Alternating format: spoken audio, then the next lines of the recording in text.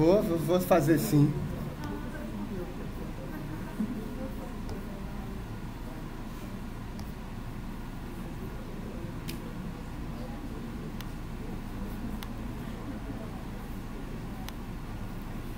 Então, pessoal, sejam muito bem-vindos à primeira aula do curso de segurança. Vou botar aqui a máscara para que vocês, né? agora que eu vou ficar berrando, né? não sair aquele espírito aleatório, né? Legal que essa é a primeira coisa que vai aparecer no vídeo. Então, sejam muito bem-vindos. A gente vai hoje começar pelos conceitos básicos de segurança. É, alguns colegas de vocês me perguntaram se precisar de algum requisito para o curso, né? mais de uma pessoa me perguntou isso, alguns mandaram e-mail. Tem um vídeo no meu canal que é o capítulo 1 do Curose, né? Introdução à rede de computadores. É um bom vídeo para vocês, quer dizer, não estou dizendo que a aula é boa, estou dizendo que o, que o conteúdo é bom para vocês terem, né? Mas vocês sempre podem fazer aquela coisa louca, né? De ler o livro. Também funciona bem, né? É um método muito interessante. E o capítulo 1 do Curose é um livro bom, é um capítulo bom, independente da edição que vocês pegarem. Quer dizer, a partir da terceira, o conteúdo é mais ou menos igual para o que a gente vai precisar. Tá? Eu preciso que vocês entendam mais ou menos que a internet é transmissão de pacotes, né? transmissão de mensagens, que esses pacotes estão em níveis diferentes da pilha de protocolos, ou seja, que eu vou ter, existe uma camada de aplicação, existe uma camada de rede, né? e que essas coisas elas são intrinsecamente diferentes. Tá? É, a gente vai discutir segurança num, num, contexto mais amplo, tá? E eu quero trazer discussões sobre algumas, mais no final do curso, de algumas coisas que são importantes hoje em dia, né? Quando eu comecei a aprender segurança, eu falo, sou muito sincero, eu odiava segurança, eu tinha bagre de um preconceito. Cláudio, por que diabos você tinha preconceito com segurança? Porque eu achava que partia do pressuposto de que alguém estava fazendo alguma cagada, alguma coisa que não devia, e que isso era uma forma muito ruim de pensar a vida. Né?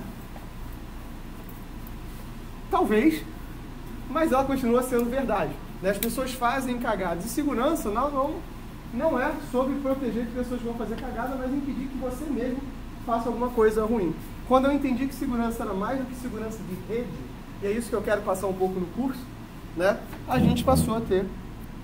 Então, é, passou a ter, eu passei a ter um pouco mais de apreço. Né? Hoje é onde eu trabalho, eu trabalho muito com a questão de desenvolvimento seguro.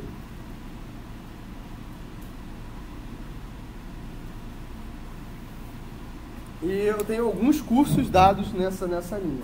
Tá? Então, eu quero falar um pouquinho hoje motivação, segurança no desenvolvimento, falar um pouquinho sobre as melhores práticas e alguns padrões que a gente vai ter. Então, esse é um curso que a gente vai ter sim segurança de rede. A gente vai falar sobre isso, porque a gente não tem como fugir disso. Porém, contudo, todavia, a gente vai falar também no ponto de vista de gerência. Como é que eu vou fazer a gestão da minha segurança isso é importante independente da trilha da computação que vocês forem seguir.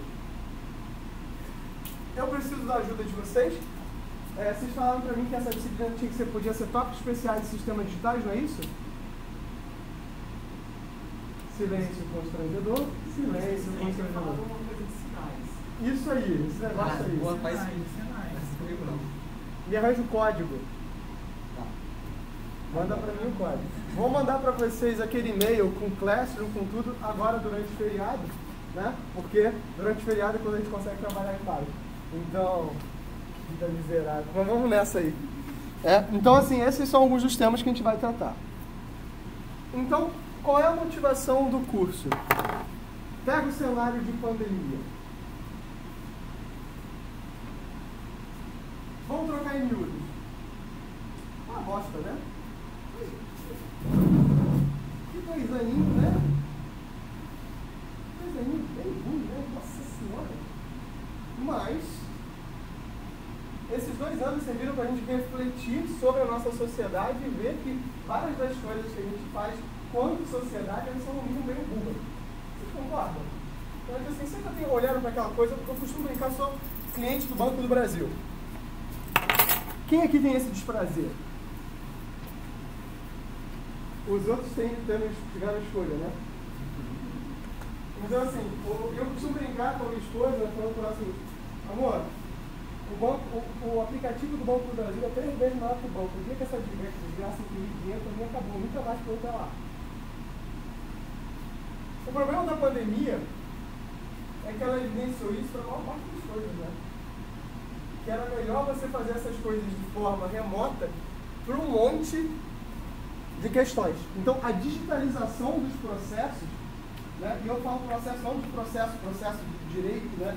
Mas processo de processo produtivo da nossa cadeia de entendimento de produção, quando eu falo como coisas como indústria 4.0, que vocês deviam estar cientes sobre o que, que é isso. Todo mundo ciente? Vamos lá, pessoal, preciso de troca. Eu falo, vocês estão cientes? Falem, sim, não, talvez. Pô, vamos tentar assim? Pô, pouco é bom, pouco até qualifica. Né? Indústria 4.0, o que vocês viram? Nada. Nada. Nada é uma coisa boa, também é um qualificador poderoso. Então, o que é indústria 4.0? Vocês aprenderam, olha só como computação é uma matéria maravilhosa e faz com que vocês tenham que circular por vários assuntos. O que foi a primeira forma de indústria? Revolução Industrial. Os gringos britânicos lá. Fala mais alto que o estudo. Máquina vapor. Máquina vapor. Né? Mas a grande questão da, da, da, Revolução Industrial é a automatização de processos que eram puramente manuais. Né? E, e só isso, só isso, né? esses 300 anos de evolução tecnológica, e só isso, mudou o mundo como a gente entendeu. Né? A primeira revolução industrial coloca o passo da nossa nova sociedade. A nossa, o século XIX e XX são pautados pelo que aconteceu na primeira revolução industrial. Pós Segunda Guerra, a gente tem a segunda revolução industrial. Qual é isso? Vamos de carro. Rodízio. Qual é a questão do rodízio? linha de produção. Poxa, se eu especializar uma pessoa para fazer essas coisas, parece que essa pessoa fica muito boa nisso. Nossa, aqui. E a gente vira assim. Beleza, o que a gente chama de revolução 2.5 é o toyotismo. Né? Eu vou fazer com que essas pessoas. Sempre carro, né, galera? Tem motivos para isso. Né? você vai colocar, tipo assim, realmente assim, as pessoas em núcleos, vai fazer com que essa empresa rode e isso vai chegar né, é, ao de produtividade. Tem gente que, inclusive, coloca o Fordismo como a primeira revolução industrial, de verdade, como grande representante, e o Toyotismo como a segunda. Tá? Mas outros autores vão dizer que a primeira revolução é uma coisa mais 90 milhões de ação para frente, Brasil salva a seleção, né? vocês não são dessa época, mas essa divisão ela é, ela é no mínimo dúvida. O que a gente chama de terceira revolução industrial, que aqui no Brasil a gente não passou por ela, olha que coisa louca, aqui no Brasil a gente não passou por ela, é automação fabril. Por que, que o Brasil não passou por ela? Hã? Não tem fábrica. Não tem o quê? Fábrica. Fábrica? Não, não. Fábrica é uma questão de dinheiro. Entendo, to, todo o processo, todo o insumo tecnológico é uma questão de dinheiro. Se hoje a gente, assim, hoje a gente tem aqui gente, computador, celular, quase, quase, quase todos vocês aqui tem pelo menos um IP com vocês. Confere? Quem está aqui com o celular está com o celular, tem gente que não está, tem gente com computador. São ferramentas. Vocês concordam? 20 anos atrás você ter um notebook era um negócio completamente impensável. Hoje é muito mais praticável você ter um notebook do que você ter um desktop. Em geral, o desktop ele vai ser associado a uma tarefa muito específica, né? Você quer basicamente jogar, né? Mas... O que eu acho justo, eu acho nobre, tá, gente? Não, isso não é uma crítica de forma alguma, isso é uma demonstração, mas às vezes se você quiser trabalhar com algo como, sei lá, desenvolvimento gráfico, ou então você realmente quer um espaço um pouco maior, enfim, tanto faz, né? A Apple está aí mostrando que o Mac Studio continua sendo uma máquina desejada, um alvo de desejo. Né? Então, qual é a grande questão da terceira evolução do shopping que ela não passou no Brasil? A mão de obra brasileira é muito barata. E a gente não tinha escala de produção que justificasse você trocar todo um parque fabril. Isso foi o nosso, motivo. Se você pegar a China, chegou nessa, chegou, chegou nessa terceira evolução, chegou. Quê? Porque o chinês é caro? Não. Muito ruim falar isso, né? O chinês é caro, o brasileiro é caro mas a potência trabalho. Mas a China precisava de, de, capacidade de produção. Tem um limite do que você consegue com a produção humana. Né? Então, passou-se a isso. E nessa disputa entre China e Estados Unidos, que, que permeia, permeia desde o começo dos anos 2000, a gente chega na quarta revolução industrial. Né? A quarta revolução industrial, as pessoas falam, ah, é a indústria que usa IoT. Eita ferro. É a indústria que usa IoT. Não, não é a indústria que usa IoT. Também. Mas é, é a sociedade pensada como um processo industrial. O que isso quer dizer? É você entender que um produto não é algo que é feito numa fábrica. Um produto é algo que é um desejo de um elemento industrial, é um desejo de um elemento social, que ele tem um ciclo de vida e ele tem um descarte. Que para você monitorar todo esse ciclo de vida, você precisa de tecnologia para poder fazer isso. É uma indústria não do, da produção massiva, mas uma indústria de especialização. Claro, a gente não chegou nesse estágio aqui não. É, não chegou não. Aí tem a galera que fala, indústria 5.0 é indústria para pessoa. Eu não sabia que a gente fazia produto para satélite, né? A gente faz produto para a gente. Né? Ah, uma indústria que tem um ser humano, é centrada no ser humano. Ou seja, engenharia responsável, né? aquela coisa que aprende no computador de sociedade. Então, assim, a galera gosta de um buzzword. E eu sou totalmente contra buzzword, não faz sentido. Né? Mas essa indústria 4.0 que a gente chegou, chegou como o seguinte, cara, o trabalho em si, é tarefa. Né? Pega, vamos pegar a seguinte situação. Imagina qualquer semelhança com, com a realidade é mera coincidência, tá? Imagina que você tem um funcionário. Esse funcionário tem que bater cartão. De 8 às 5. Esse funcionário entra numa repartição, ou pública ou privada, nós jamais saberemos, e resolve que ele vai assistir Netflix. Porque a rede dessa determinada repartição é muito boa e vai ficar o dia inteiro assistindo Netflix. Ele esteve lá durante oito horas. Mas qual o trabalho que ele realizou? Zero. Agora imagina que fulano chega, fica duas horas, mas ele cumpre todas as tarefas que ele tem que, tem que fazer. Em duas horas. O cara é, sei lá, iluminado. Né? Ele cumpriu todas as atividades. Se a sua atividade é uma atividade de escritório, que basicamente ela participa da edição de documentos, o lugar que você está não faz diferença. Ou não deveria fazer diferença. Por que, que faz diferença ou não diferença? Depende do seu processo de trabalho. E é isso que a indústria 4.0 fala. Os processos de trabalho são dependentes da tecnologia. A medição, a aferição dos processos são questões referentes à tecnologia. Então não importa o onde, importa se eu consigo medir ou não. Então se, se me falta um insumo, eu sei alguém conseguir realizar isso em tempo real é excepcional. E para isso eu preciso de TI. Para isso eu preciso de AT. Para isso eu preciso de machine. Para isso eu preciso de robótica. Por que robótica? Porque robô não é, robô não cansa. Robô quebra. Aí você substitui um conserto. Gente cansa, né? Gente tem nas costas. A idade com aquela, né? Choque, né? Dá aquela dificultada na nossa vida. Uma ou facilitada, depende do ponto de vista. É...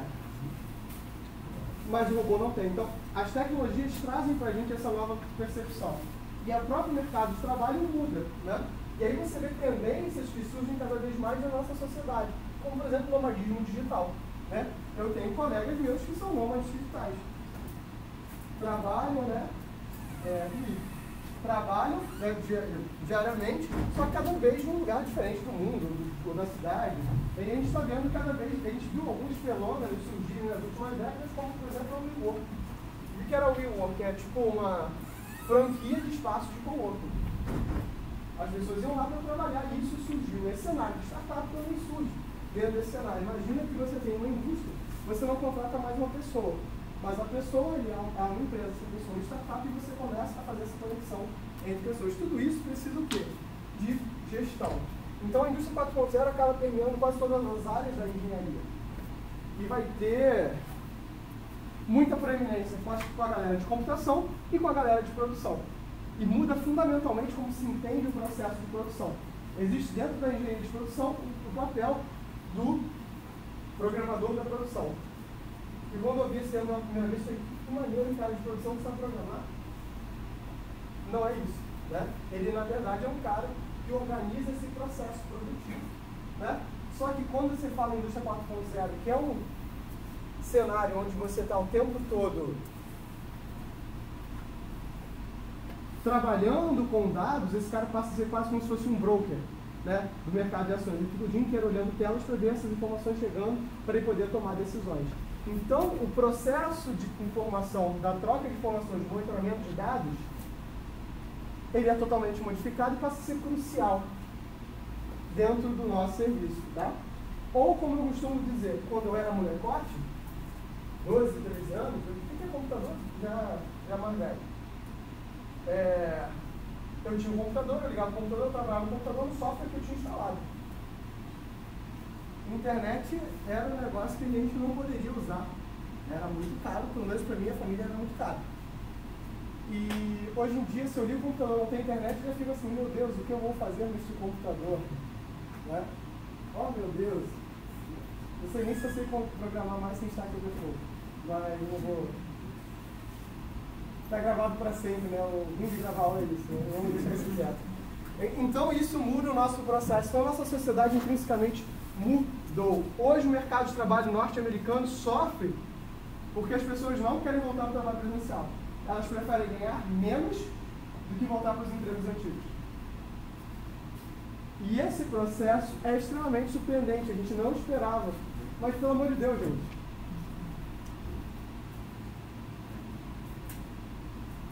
Agora, sinceramente, já que eu estou gravando a tela, não estou gravando as caras, né, está todo mundo de máscara, a voz diferenciada.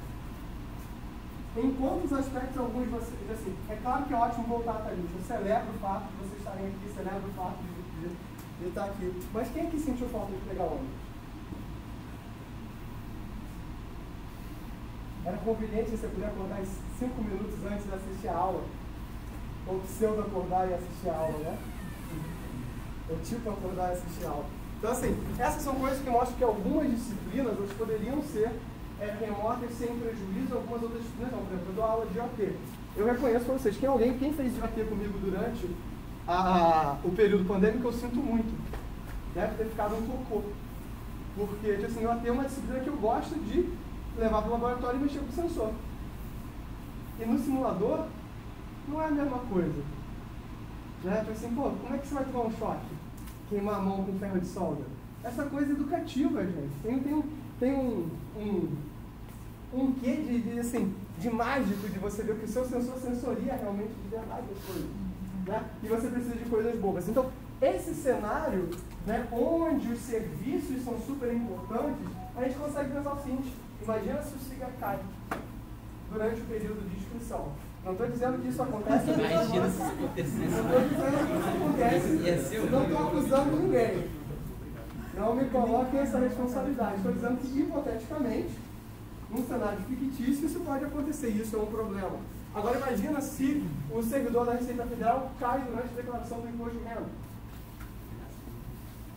É possível de acontecer? É possível. Então, o nosso medo sai esse slide ficou ruim nos últimos meses, tá, gente? Né? Esse slide sai das nossas ameaças principais do nosso dia a dia serem ameaças físicas para serem ameaças da nossa informação.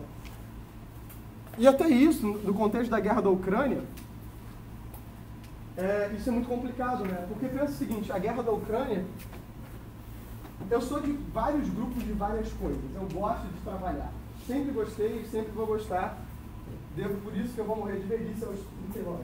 Então, assim, é, eu trabalho com alguns grupos que trabalham com em segurança e muita gente hoje questiona que a guerra da Ucrânia não começou no final de janeiro, né? Ou final de fevereiro, não assim.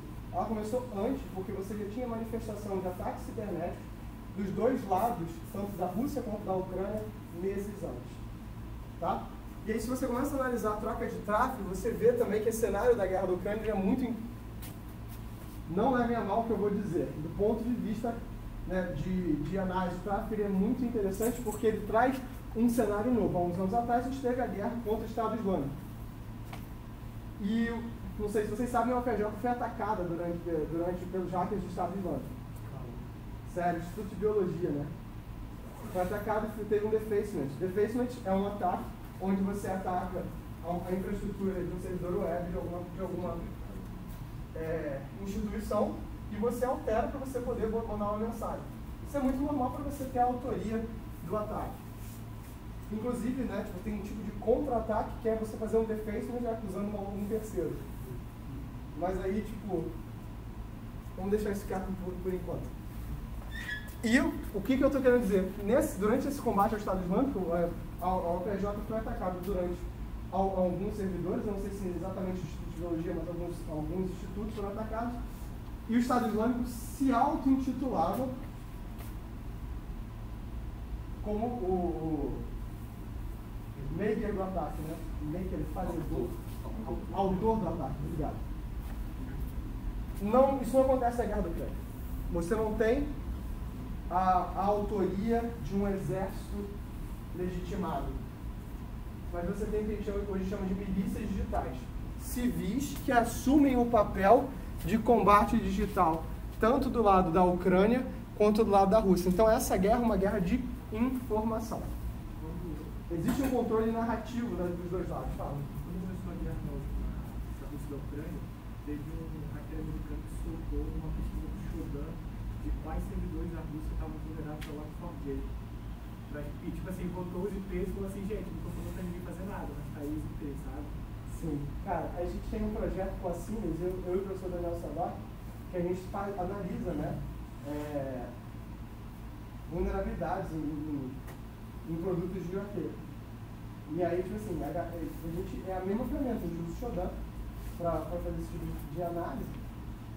Cara, e assim, quando você fica analisando o tráfego da internet durante o tempo, você vê os picos de atividade durante períodos insólitos. Aí você sabe que isso é um ataque.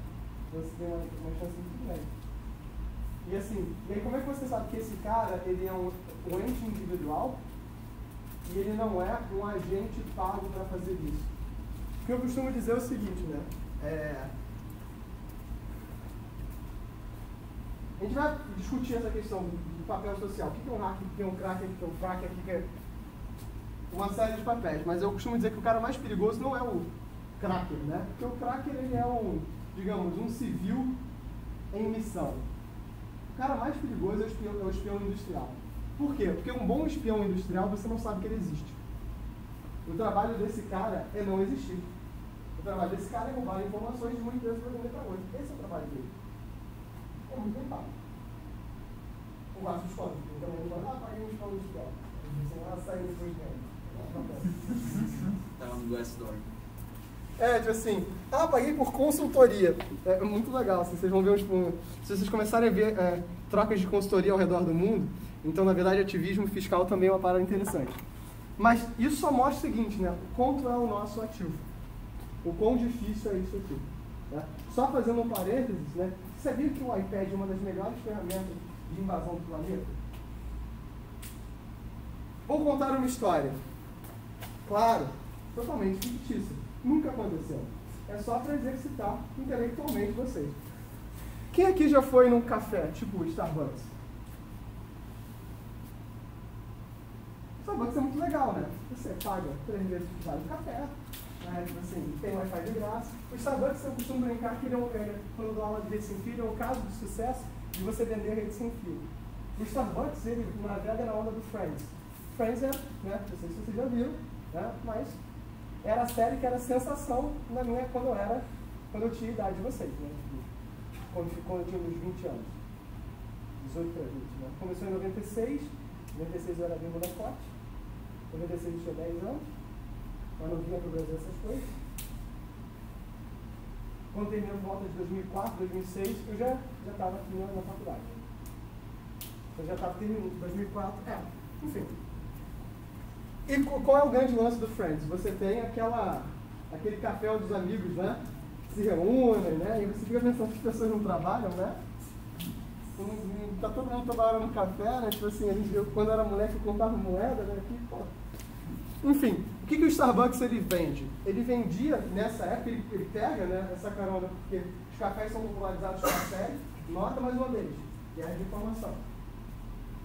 A série é o primeiro mega sucesso de série. Ela foi a primeira série que o mundo todo conheceu e que os atores principais da série ganharam tanto ou mais do que os atores de filme.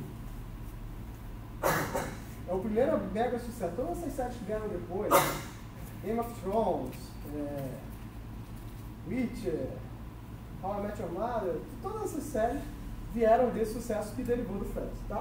E assim, e aí com, com essa questão do café no Friends, começaram a surgir esses cafés nos Estados Unidos. Isso é uma coisa que já tinham bastante, mas começaram a surgir os cybercafés. E o grande, é, cara que grande, é, surge California Coffee, surge Starbucks, mas o Starbucks é o primeiro que investe fortemente em um espaço digital para você trabalhar. Boa tarde. E as pessoas ganharam esse hábito, né? Os coworkings vão nascer também, já sempre existiram, mas eles ganham essa característica, né? Você vê que os coworkings dos anos 80, 70, do começo dos anos 90, eles eram escritórios, eles eram um de mesas, parecia que estava indo uma repartição pública, um negócio que indeplorável. Sumiço cafés, eles acabam. Agora tem essas coisas legais, né? tem os neon aqui, ali, aqui lá, e eles ganham essa informação. Então agora imagina a seguinte situação. O que, que um hacker, um atacante, ele se vale? Ele se vale de estereótipos, ele se vale de preconceitos, ele se vale de, de você não prestar atenção em alguma coisa. Quem aqui tem Raspberry Pi? Raspberry Pi. É uma, um software, um sistema on chip, uma cordezinha que você tem poder de, de fogo. Agora aqui, quem sabe, quem aqui sabe, sabia que uma interface USB-C pode ser configurada com placa de rede? O Raspberry Pi 4 ele pode ter uma interface USB-C que serve tanto para você trocar informação quanto para você alimentar o cara. Realize o seguinte cenário. Você está lá com um iPad sem teclado. Tá lá, com o seu dedinho lá. Patati, patatá, patati, patatá. Agora imagina que entra. Qual é a pessoa que, assim, qual é o estereótipo que você pensa quando você pensa numa pessoa de computação? Agora é vocês serem podres liberta o pior em você. Café, barba e parece que nunca tomou Senti uma ofensa aqui. Fiquei magoado. não, não gostei. Mas justo. É, mas concordo. O que mais vocês, vocês imaginam? O que vocês não imaginam como pessoa de computação? Não, o que você não imagina como pessoa de computação? Bombadinha de academia que mais?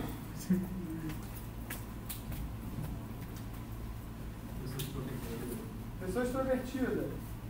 Ou seja, basicamente com higiene pessoal, vocês estão entendendo. Legal da parte de vocês. Na primeira aula já recebe uma dessa. Seja professor, eles disseram. Vai ser legal, eles disseram. Vamos lá. É, então, assim, imagina, vamos pegar o perfil do bombadinho da academia, que vocês estão dizendo que é o perfil, que é, que é uma, eu achei o cara um bombadinho da academia.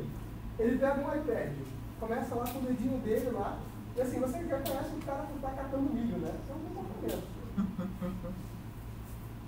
Aí esse cara está na mochila, ele pega e liga no USB-C do iPad dele um cabo USB-C. Tranquilo, né? Está carregando o iPad. Agora imagine a seguinte situação.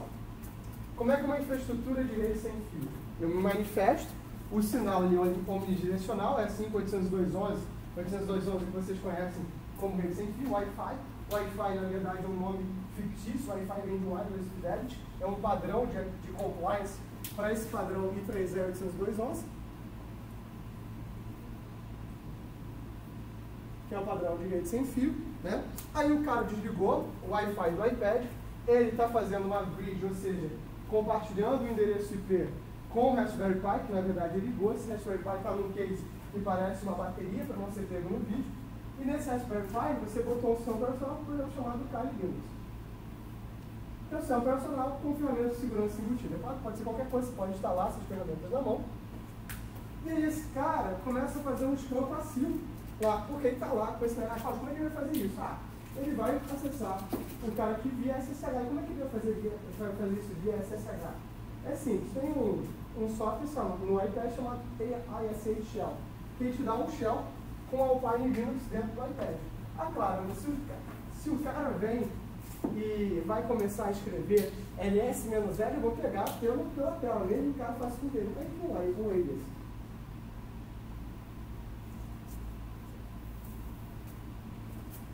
E ele configura os alias antes.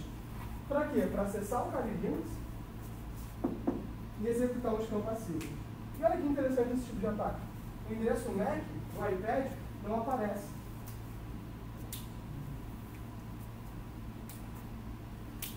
Você capturou o que você queria capturar. Você, quando aparecer na câmera, você não é suspeito, porque você é um lojinho da academia. Ele com essa barba, eu sou suspeito de tudo. Entendido? Sentia indireta. Vou lembrar disso na hora dar nota. Terminei o ataque, eu me desfaço do Raspberry Pi. Então, por que se desfaz do Raspberry Pi? Você podia ter clonado o Mac para mudar o Mac para não dizer que era o Mac do Raspberry Pi. Podia. Eu podia só apagar o cartão de memória. Podia. Eu podia ir no banheiro e jogar o cartão de memória pela privada. Podia.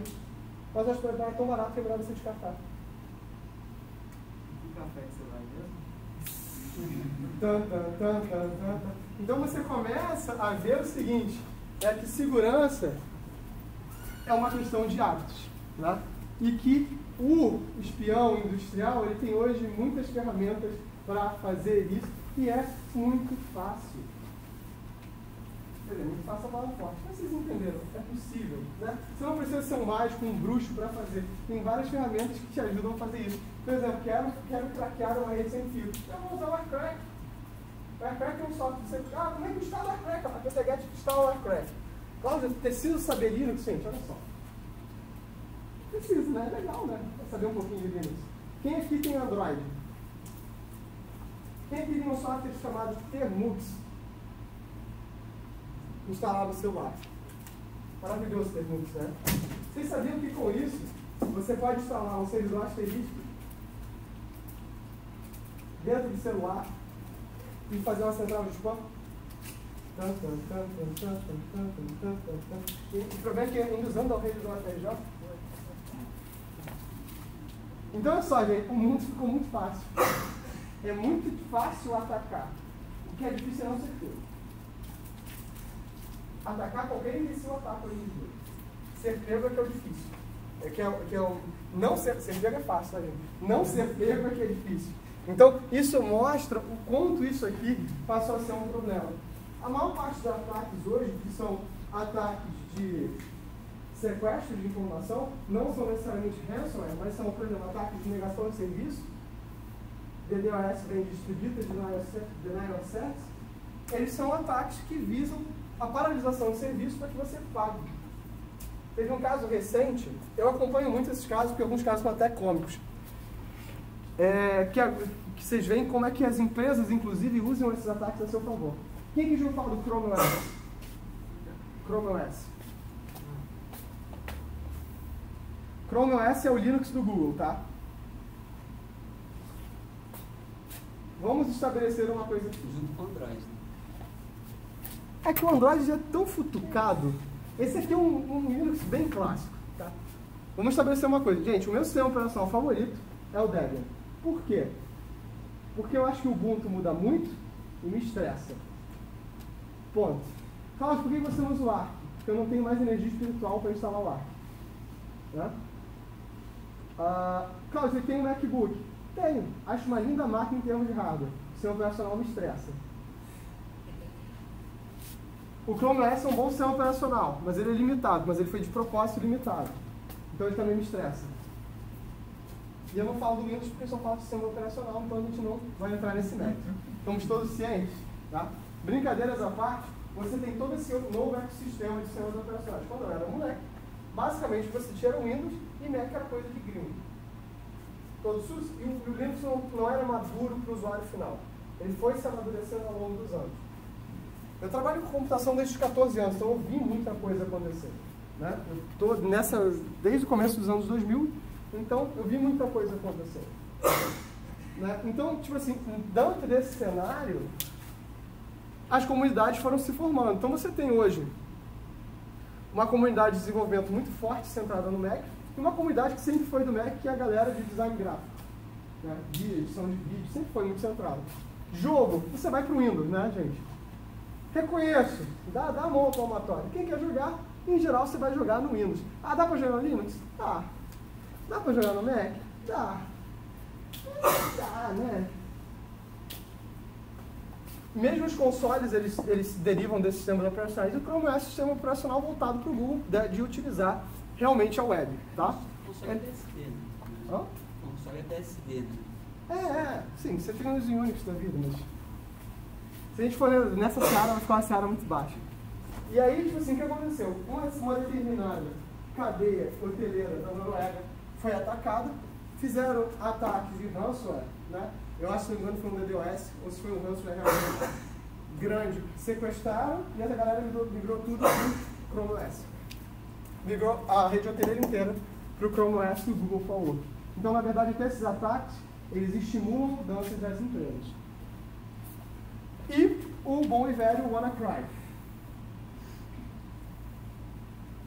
O WannaCry foi um ransomware famoso do meio da década passada que tomou é, de sopetão várias máquinas Windows ao redor do mundo e que criptografava os arquivos e pedia um resgate. Então, essas coisas são cada vez mais comuns. Então, a nossa sociedade, que é totalmente baseada em serviços, que as nossas identidades digitais são muito é, valiosas para a gente, elas estão sendo tomadas de supetão. Então, né, tipo, essas coisas são cada vez mais complicadas. E aí, quais são as nossas ameaças de segurança? Nosso fluxo de, de, de normal de informação né, é o seguinte, eu tenho uma origem e eu tenho um destino. Né? Se tudo aconteceu bem, consegui transmitir, concorda?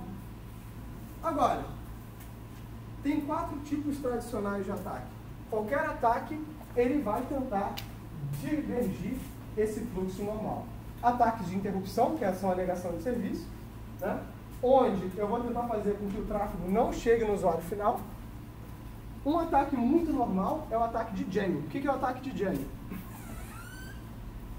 É um ataque onde eu tenho uma, um sinal de radiofrequência e eu costumo, eu começo a poluir esse sinal para que ninguém consiga se comunicar.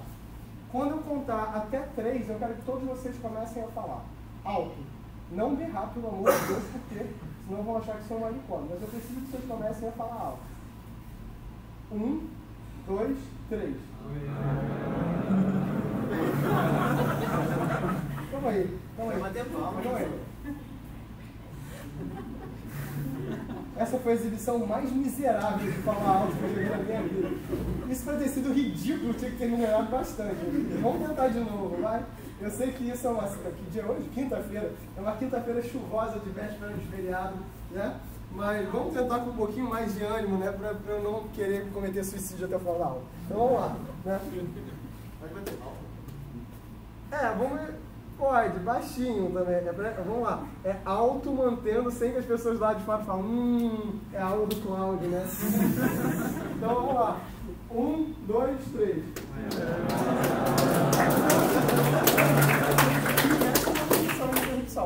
Então vocês veem, isso é um ataque de gênero. Eu começo a fodar o canal exatamente para que ninguém possa perceber. Então a frase que eu acabei de dizer provavelmente deve ter passado desapercebida para uma parte de vocês. Por que, que a gente faz assim? Porque nada mais. A sua garganta funciona exatamente igual ao seu celular. Ou emissor de onda. Tudo que a gente faz é perturbar meios físicos. E é por isso que Física 2 é tão importante.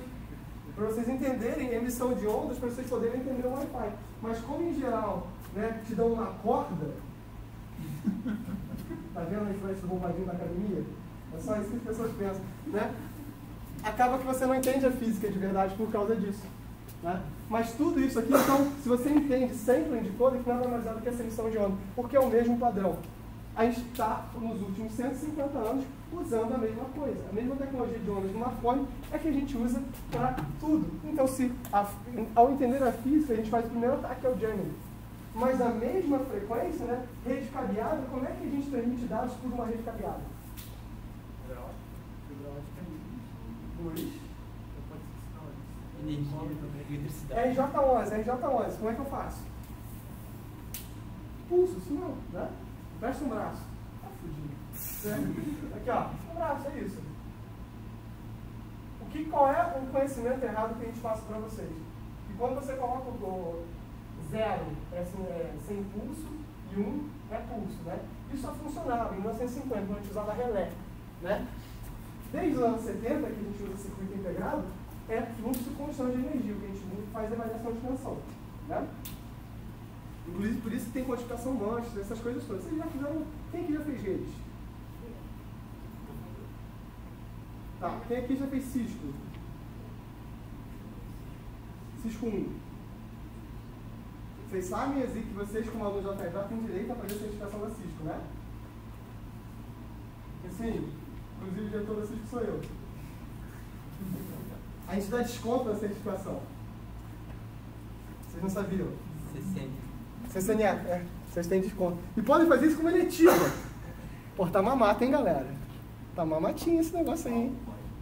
Hã? Qual o código? NCG 070809. Tá aberto? Cara, não porque eu tô dando segurança. Mas a gente vai, a gente tenta abrir. NCG 070809 todo período. A gente tem instrutores para isso, a gente quer retornar esse, esse, esse forte. Vocês fazem as três, ao final das três. Se vocês tiverem nota maior do que 8,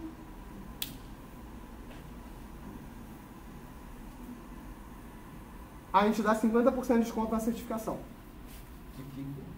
Hã? Ah, cara, não sei mais. Vai ficar uns 400 reais? Uma ótima certificação para quem quer trabalhar com redes. Mas, como disciplina, vocês podem pegar, por imagina, vai pegar uma livre escolha e você vai fazer. Não quero nem saber o que vocês fizeram de livre escolha. Mas assim, ou você vai tirar essa certificação, tá? Fundação, ah, recentemente teve o Itaú fora do sistema, não, foi uma, não sei se foi um ataque. E o serviço Americanos. é, Já ataque tivesse ou não, sozinho. não sei. Não posso dizer. A foi. A que foi na Solar, mas o Itaú não parou americano, não posso falar não. Eu sei o que foi, mas não- não quero ser preso. Vamos lá. É, Vamos deixar isso quieto. Foi algo que foi ruim e que causou muitos problemas. Inclusive fez com que muita gente que trabalha na TI desses lugares re- de- é, refletisse em deixar a empresa. Para você ter noção de como foi problemático, mas mais do que isso, vamos deixar quieto. A segunda forma de ataque é a intercepção. O que é intercepção? É do tipo assim, imagine que você está lá no seu internet banking. Eu não quero que você não tenha acesso ao internet banking, eu quero uma cópia do teu senha. Vocês têm noção de como isso é sério hoje em dia? Quem aqui já tem essa. tem um modelo de lâmpada, teve um modelo de lâmpada da Osram, que era a Lightfire da Osram. É uma lâmpada IoT. Você ia comprar o aplicativo lá, muito manualmente, e apagava a luz, batia palminha, a luz apagava, a luz acendia. Né? Inclusive, isso é uma das coisas que eu mais odeio no mundo, né? Tipo assim, algo que fica ouvindo você o tempo todo. Né? Coisa desagradável. Né? Imagina algo ficar ouvindo essas besteiras que eu falo o dia inteiro, essas piadas de tiozão. Né? Não basta de vergonha que eu passo em sala de aula. Né? Mas, é, qual é o interessante dessa lâmpada da Osram? Ela tinha que se conectar na rede sem fio. Né? Faz sentido para vocês? Razoável, né? Não é que nessas impressoras da HP que cria a rede própria dele para você ter que sair da tua internet para poder imprimir. Coisa estúpida. Né? Não, a gente é burro, né, cara? Pô, pelo amor de Deus. Né? Então, a lâmpada da Osram, ela armazenava dentro da lâmpada usuário e senha da rede sem fio e texto fora não criptografado. E aí quando ele, tra ele trafegava isso pela tua rede, permitia capturar. Cláudio, mas como eu posso capturar? Quem já ouviu falar de um software conhecido como Wireshark?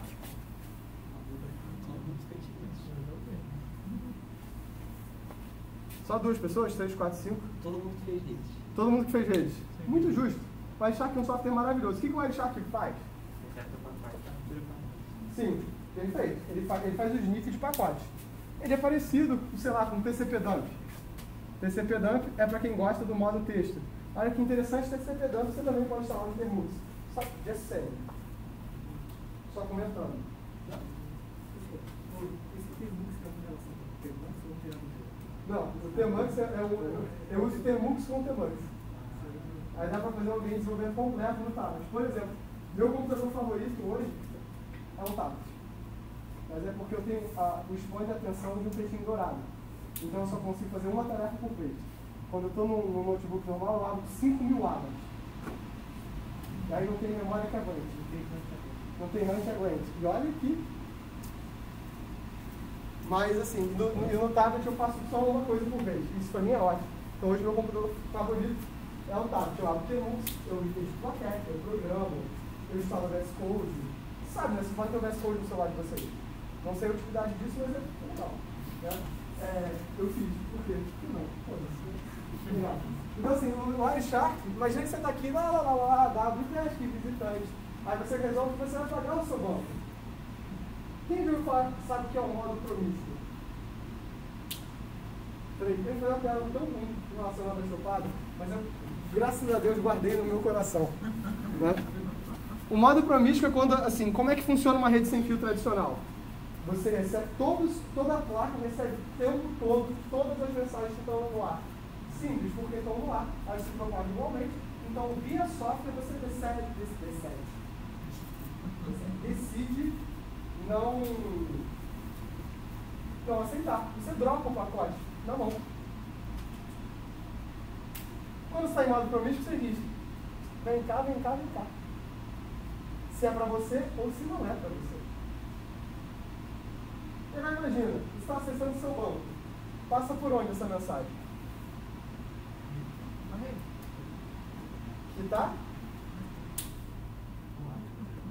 É. Está entre todos nós. Né?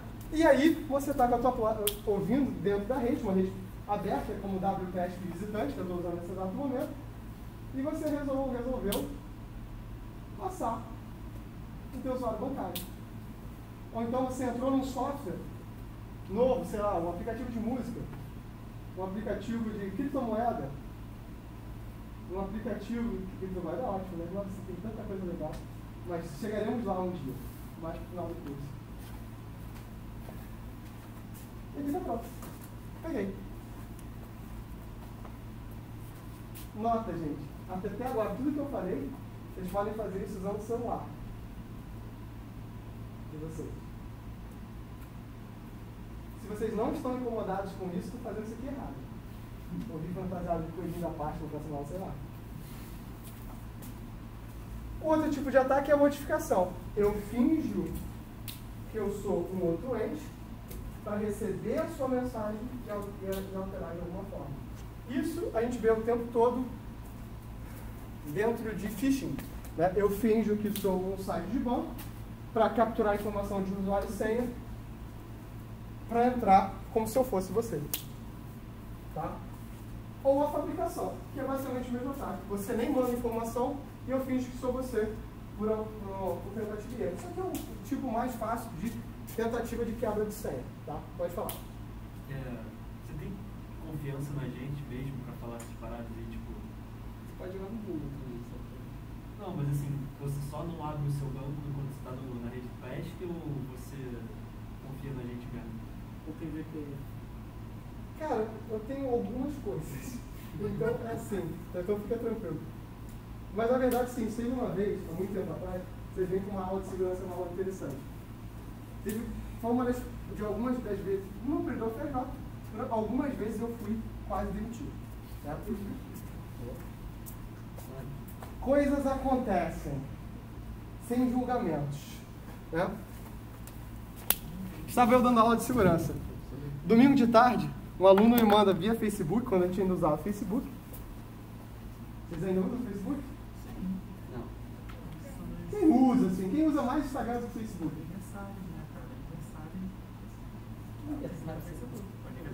Ah, gente, é porque vocês têm que entender alguma coisa, eu sou escroto, cara. Não mando mensagem de feliz aniversário. Essa época passou. Então, assim, não, mas é porque eu sou babaca, gente. Vocês, vocês podem ser pessoas legais. É... Ele manda assim de mensagem, professor, eu preciso confessar uma coisa. Domingo de tarde, se você vem pra mim e fala, preciso conversar com você, preciso confessar uma coisa, eu sei que é treta. Eu sei que vou ter uma tarde ruim. A senha do seu Nubank é essa? Eu falei, é.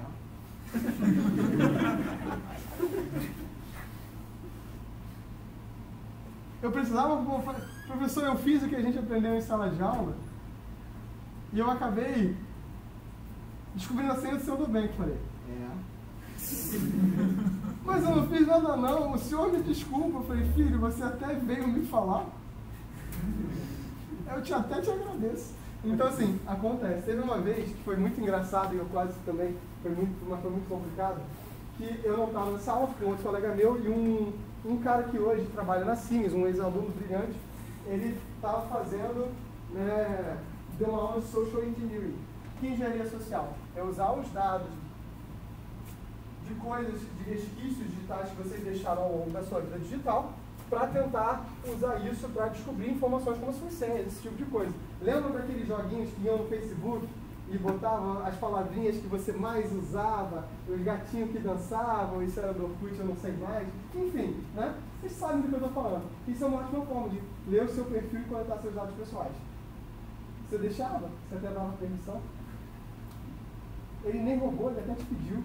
Posso? Em troca, eu te dou um gatinho percepção de valor. Né? Então. não entendi muito bem essa questão da interrupção, que assim, a onda que você está querendo tipo, parar, tipo, a sua própria onda que você está querendo. Não, interrupção a nível físico é o jamming. Mas eu posso fazer interrupção a nível lógico. Como é que é a interrupção? Calma aí, tem que jogar várias coisas em você. Não, não pode jogar isso aqui não, porque você vai quebrar. Gente, alguém tem coisas que eu possa jogar? Tipo canetas?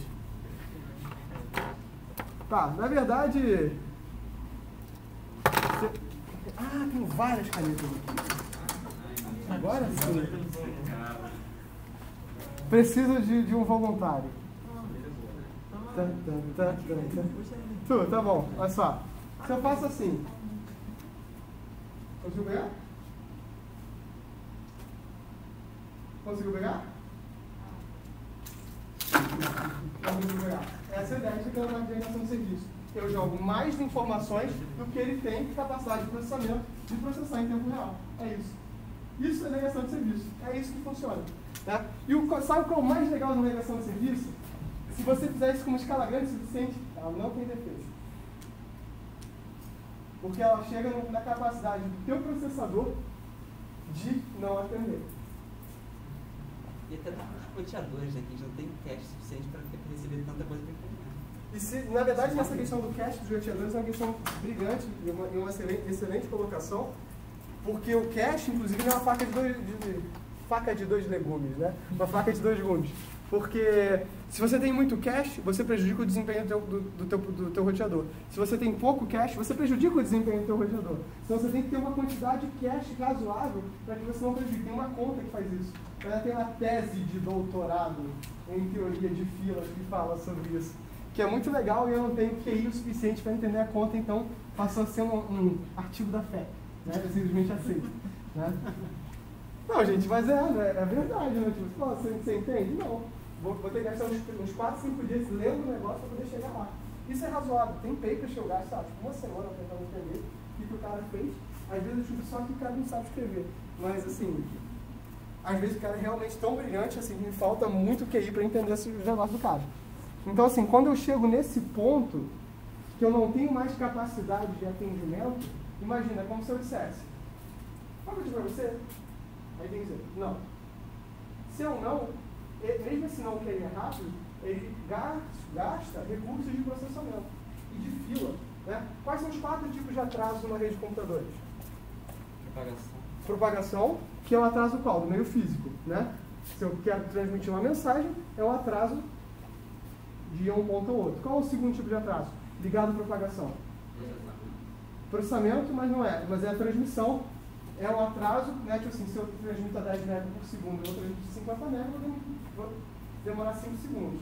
Processamento é o atraso da formação do pacote na placa, da, na, placa de rede e do processamento que o roteador tem para processar elementos do pacote. Quanto mais elementos eu tenho, ou seja, se eu tenho QoS, se eu tenho política de fila, se eu tenho criptografia, isso vai para tal. E o último tipo de, de, de atraso é o atraso de fila. É o tempo que eu espero na fila para poder ser processado, porque eu não consigo processar o resto. Né? Hoje, propagação e transmissão são atrasos bastante limitados. A gente tem em tudo quanto é lugar 3G, 4G, cabeamento, né? E processamento e, e fila passaram a ser os nossos gargalos hoje.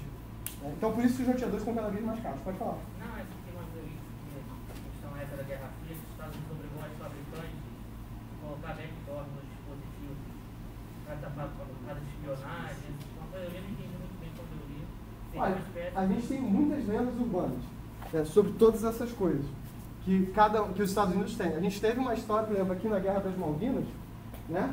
Falklands. Né? Assim, não vou chamar de palavrão. Eu queria dizer um palavrão tão grande que, assim, graças a Deus o filtro do meu cérebro ainda está funcionando. Que é o primeiro dia de aula, né, galera? De- de- três semanas aqui virou um boteco. É... Não tragam cerveja porque é crime. É... É. Dentro do espectro público, você não pode consumir com alcoólicos. É um dos poucos motivos de justa causa. Isso para funcionário. Não, para vocês é jubilamento. Eu ouvi dizer até que tem um lugar aqui que vende, né? Tá gravando. Não produzam provas contra vocês. Né? Eu não posso fingir demência o tempo todo. É, vamos lá. Então, assim, existe, um, dentro da Guerra das Malvinas, que na verdade a Argentina comprou mísseis franceses. Mas pelos acordos com a OTAN, a França deu os códigos para preparar os mísseis franceses contra os navios ingleses. E esse foi um dos motivos de que a, porque a gente- a Argentina apanhou tanto. Porque eles não tinham como contra-atacar. Bizarro, né? É claro, tudo em segurança, 90% das coisas realmente interessantes são puramente especulação. Ou não podem ser ditas em voz alta. Então, assim, é muito legal e é muito bizarro, né? Mas ficou, ficou tranquilo a parte da interrupção? Né? Não é só físico, é lógico também. Esses quatro tipos de ataque ficaram tranquilos? Né? Então vamos partir para a próxima. Né? Gastei não sei quanto tempo de aula, fiz três slides. E aí o objetivo da segurança né, é por que a gente faz segurança? A gente quer manter a privacidade, a disponibilidade e a integridade do sistema de informação. Essas coisas não são a mesma coisa. Não são nem um bocadinho. Integridade e privacidade são a mesma coisa? Não. Eu posso simplesmente não saber o que você está transmitindo e simplesmente zoar o teu sinal. E a integridade não é só o princípio da segurança. Você, antigamente, você podia ter interferência em sinal justamente por causa de pulso elétrico. Por que a gente faz o cabo de par trançado? Olha aí, física 3, né? Lembram da lei de Coulomb? Três anos de terapia, né? Nesse para falar isso. Eu lembro. Mas assim, a lei de. Olha só que interessante, se você tivesse aprendido né, o princípio de polo magnético, né, basicamente baseado no cabo de rede. O cabo é de par trançado para você evitar interferência de sinal. Ele é isolado por causa disso. Você tem o, o twister, né, que você faz isso, passa pulso elétrico e isso gera esse efeito de campo. E você tem o, o shielded, né, que é esse cabo par de par trançado que ele é coberto com cobertura de cobre mas que não, na prática não não, ganho tão grande assim. Então a gente tinha perda de integridade de informação justamente porque o meio interferia. Mas hoje um atacante pode querer interferir. Por exemplo, hoje vocês vão ver em pacote rede coisas como CRC, a checagem de redundância cíclica, né? E que você tem no UDP e algumas outras abordagens para de, de, de cons- Não, CRC você tem na camada 2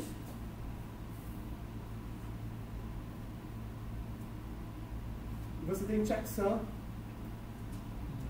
É o cara que sabe, né? Então tem aqui um, na camada 4. Então você pode identificar, né, alterar o bit da tua mensagem, o checksum vai pegar e, e, na verdade, depois você vai descartar esse pacote, caso não tenha. Checksum, ele é um cocô, né? Ele é uma coisa, mas ele é tão simples que ele funciona. Você ter alterado de forma, alterar de forma inteligente o checksum é muito difícil.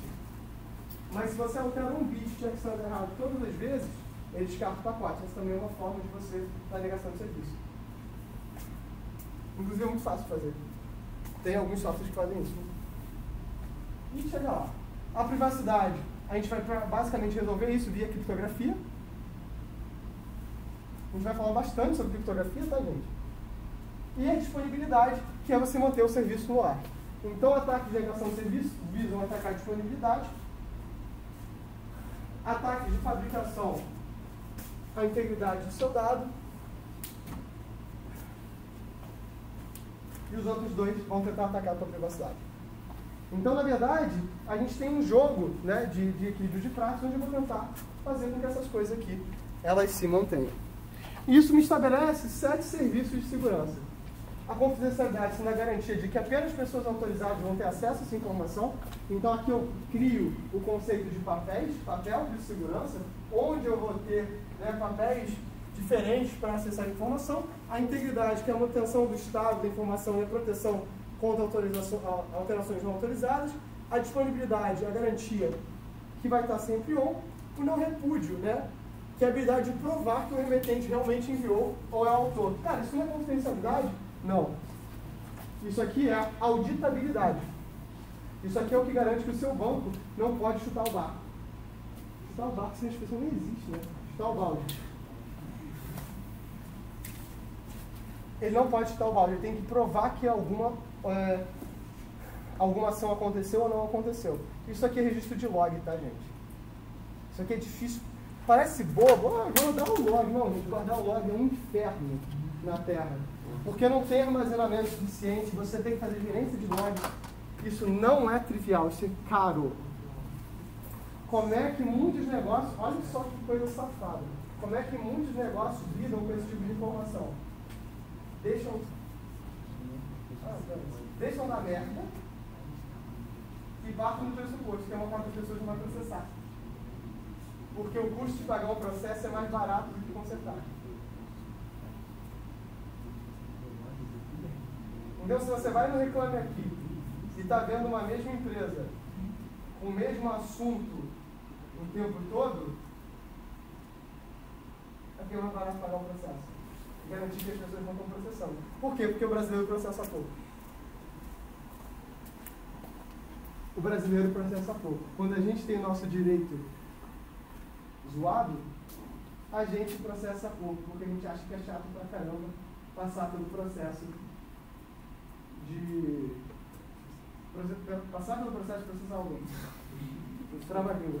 Mas demora também, né? E demora. Não, mas isso, isso é processo. Tudo na vida é processo, gente. Esse negócio do log, às vezes a empresa não tem nenhum software direito para tipo, monitorar os logs. A merda aconteceu, passou batido, ficou anos acontecendo. E quando você viu a empresa prefere fingir que não aconteceu do que lidar Porque, inclusive, quando você tem um ataque, isso também é super interessante que o colega colocou. O nome? Eduardo. Eduardo, que o Eduardo colocou. Né? Eu gosto de saber o nome de vocês, gente. Eu não vou lembrar tão cedo, eu vou fazer o maior esforço possível, mas vou tentar lembrar o nome de cada um de vocês. Né? Isso que o Eduardo colocou é brilhante, porque na verdade é o seguinte, é caro fazer.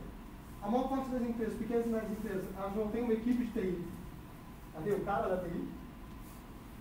O cara da TI, ele não faz tudo, ele faz rede, ele faz segurança, ele cuida de impressora, né? é ar-condicionado de vez em quando, se esse micro-ondas estragou ele, ele que, que procura as pessoas, então ele é um cara né, da infraestrutura, ele não sai desse tipo de coisa, se dá alguma zica e essa empresa tem uma reputação, essa zica pode fazer com que a reputação da empresa, né, exemplo, americanos fizeram 4 bilhões de valor de mercado. Mas é assim. Na hora de comprar, galera. É, quer dizer, já passou da hora de comprar. Mas. Gente, isso é muito severo. Então o cara prefere. Mu- Isso também é uma questão. muitos dos, dos ataques que a gente tem são escondidos por debaixo dos panos para não mudar o valor de mercado da empresa. Fazer isso aqui é caro. Fazer isso aqui é caro. Caro em muitos sentidos. Vamos botar dessa forma. Professor, Ah. priorizar os lotes? Porque a empresa precisa de um histórico. Eu tra- faço estágio numa empresa de consultoria. E aí a gente está justamente com esse problema. A gente tem um banco de dados lá, um banco geral de muitos logs, muitos dados mesmo de anos anteriores. E só que lá na empresa não tem essa parte, alguém que lide com, essa, com esse trabalho. E como priorizar os dados que, os logs que você precisa ao longo dos anos para você ter uma métrica e tal. Tá, essa pergunta é muito boa também. Olha só, você tem qual é o negócio da empresa? Essa pergunta sempre, toda vez que qualquer projeto que eu fazer de software, de segurança, de data science, de, de mestrado, qualquer coisa que for fazer na vida, a pergunta que manda tá lá. Qual é o meu negócio? Qual é o meu problema? O que eu estou resolvendo? Tá? Por exemplo, hoje, hoje de manhã eu estava no projeto final de segurança. E eu perguntei para os meus alunos, o que, que vocês vão fazer? Nós vamos estender o WAF. O WAF é o software. Já vou chegar onde eu quero chegar, gente. Eu não estou devaneando, não. Às vezes parece, às vezes eu estou, mas nesse caso não. Falei, não. Vocês vão resolver um problema. O problema é que o AF é ruim. Ai, meu Deus. Não, filho, olha só. O AF é o produto do que você vai chegar. Por um acaso existe um problema, o AF é um software que faz monitoramento de, de web, tá? Monitoramento de vulnerabilidades em sistemas web. Ele usa um algoritmo, um, é, um algoritmo genético para tentar mi- minimizar os pesos que seria um ataque ou não. Ele funciona para um modelo, para um tipo de ataque específico. Eu falei, então olha só, ele não é genérico. Ah, então a gente vai mudar o ART porque ele não é genérico. Eu falei, beleza. Mas o que o ART faz? Ele monitora. Monitora o quê? Páginas web. Por que, que isso é um problema? Ah, não, porque as páginas web. Então, esse é o, é o ponto fundamental. Então, tem uma empresa de consultoria, tem um monte de lojas. Onde você perde dinheiro? Essa é a pergunta fundamental, porque isso você tem que guardar. Por exemplo, se você guarda. Tem, qual é a estratégia hoje das empresas? É a estratégia do. Quem que já jogou? Não, tem que ficar, sério. Sério. Sabe o que é Zerg Crush? Né? Que é você pegar um, pegar um monte de, de, de bonequinho barato, fazer uma quantidade escrota e começar a jogar isso, né? De forma que você conseguir fazer isso de forma infinita. É assim que as empresas hoje trabalham. Elas geram log de tudo. Por quê? Porque log, logs são importantes. Não, isso é uma coisa positiva. A gente já chegou ao conhecimento que logs são importantes. É melhor do que a média do que eu pego. Né? Agora é o seguinte, como é que você faz a filtragem desse processamento? A filtragem desse processamento é baseada numa regra de negócio, que está numa dessas ISOs que eu vou falar aqui. RFC 2196, o Security Site Handbook. O que, o Security Site Handbook diz? Quando você começa a projetar um sistema de log ou um sistema de coleta de dados, ele tem que estar em, combinação com os riscos. Então, por exemplo, assim, se você guarda as entradas e saídas dos seus funcionários, isso é um risco para você, você não ter isso, como de prejuízo te dá? Entendeu? Está sempre relacionado ao prejuízo. E o prejuízo não é só financeiro. Esse é o, o ponto central da nossa sociedade hoje. A gente sempre mede as coisas em termos do prejuízo financeiro. Gente, olha só.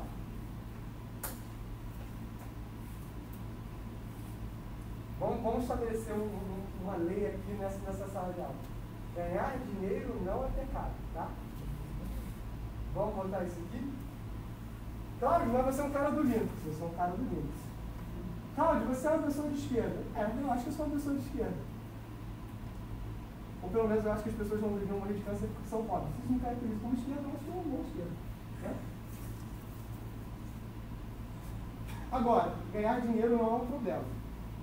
Agora, se a tua visão de negócio é simplesmente ganhar dinheiro, você vai ter um problema.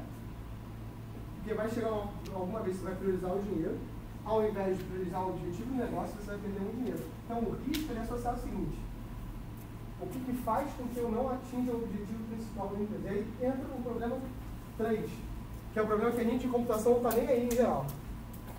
Se alguém aqui não é de computação, sinta-se incluído, abraçado e amado. É... Qual é a missão da empresa? E aí que entra. O teu log é reportado pelas coisas que causam risco à missão da empresa. Só que isso tem que estar listado. Eu tenho 20 anos de carreira. Sabe quantas empresas que eu prestei consultoria ou serviços e afins e tinham isso muito bem definido? E aí quando você manda fazer, o cara diz assim, mas eu não tenho tempo. E aí dá ruim. Não, gente, aí. Aí é complicado. Aí é muito difícil, é muito complicado. Então, assim, o log ele é recortado pelos riscos que representam a missão da sua empresa. E aí quem tem que dizer isso é quem vai ser mais afetado. Então, a estratégia mais normal de você fazer isso depois que deu zica é você pegar o seguinte, estabelecer nos últimos cinco anos quais foram os maiores problemas que você teve que geraram prejuízo para a empresa, sentar com os gerentes, pedir que cada um deles elenque o que causou cada um desses eventos, identificar nos logs como isso pode ser identificado. Guarda isso e o resto. É uma forma barata de economizar e você tem um objetivo muito direto no que você está fazendo. Cláudio, isso resolve todos os problemas? Não. Pode causar problemas? Pode. Mas se você não tem dinheiro para guardar o resto, essa é a melhor estratégia. É pelo menos como eu recomendaria. Mas, e no mundo ideal? Guarda tudo e estrutura. Faz o que a gente chama de um, de um plano de dados abertos, um laboratório de governança. Só que isso é caro. O AFJ tem que ter. O AFJ tem que ter. Instituição pública tem que ter. Outras instituições não. Mas a gente vai chegar em outros pontos onde vocês vão dar um xiliques por aqui na sala de aula. Autenticação, né? a prova de identidade. Isso é diferente da privacidade, né? Controle de acesso, impedir o uso indevido dos recursos, ou seja, eu posso estar autenticado, mas não ter acesso a todos os recursos, usuários diferentes têm permissões diferentes, e a disponibilidade eu tenho que estar sempre disponível. Esse é o meu serviço de rede. Né? E aí entra as vulnerabilidades. Olha que interessante. Essa aqui é a frase, né? Todo mundo quer ser rápido. Eu vou entrar no sistema, descobrir as brechas, fazer o código louco como é que hoje gente, qual é a anatomia de um ataque hoje? Cláudio, se você estivesse com preguiça, o que, que você faria hoje? Primeiro, primeira coisa que eu faria, me logaria de uma rede pública, tipo WPESC, ou a rede do NCE, ou 90% das redes da UFRJ. Me colocaria atrás de uma VPN ou de uma rede protegida, como uma rede Tor ou alguma coisa dessa assim. Faria um scan de portas em uma série de sites em paralelo, através de alguma máquina virtual ou coisa nesse sentido. Através da resposta desse scan de porta, eu iria no, na base do CVE, do Common Vulnerability Exploits, que é um database de exploits que existe na web, e buscaria os exploits para aquelas versões de software que o Nmap me deu. E usaria esses exploits. Foi difícil?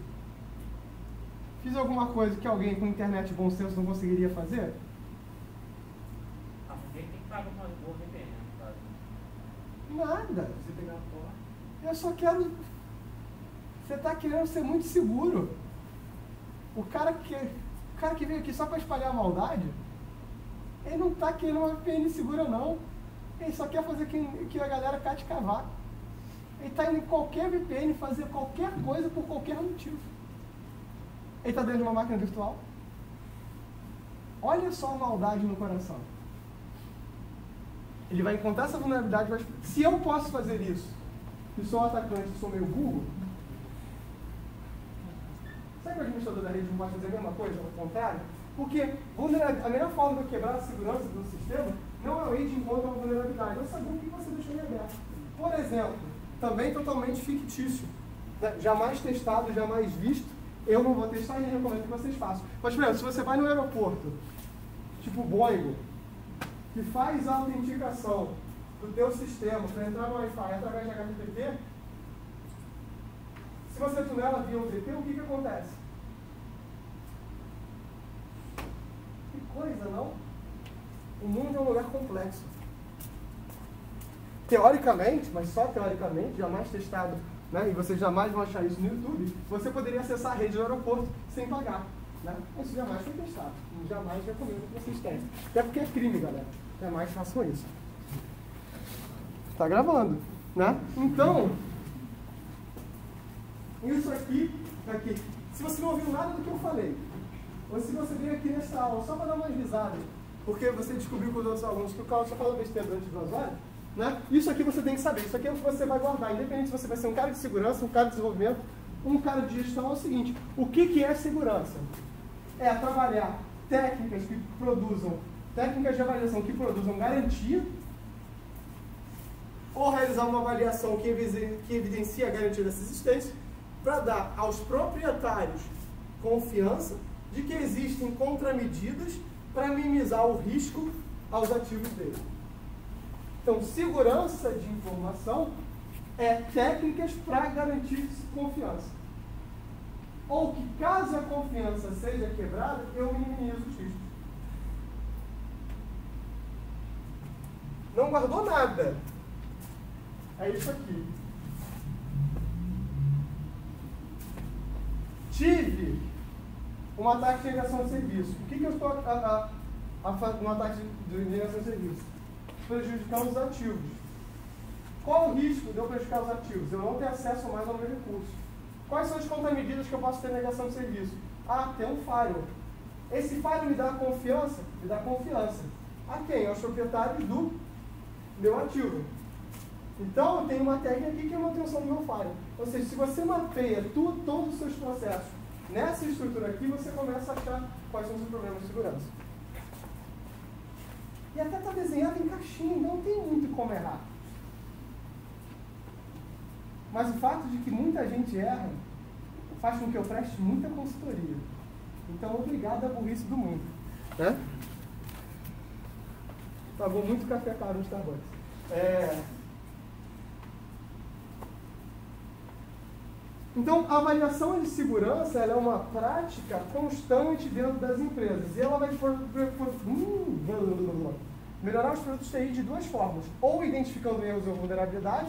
Isso é o que a gente. Um exemplo clássico disso aqui é o teste de penetração, ou pen test, que é um procedimento que você tem que fazer periodicamente na sua empresa.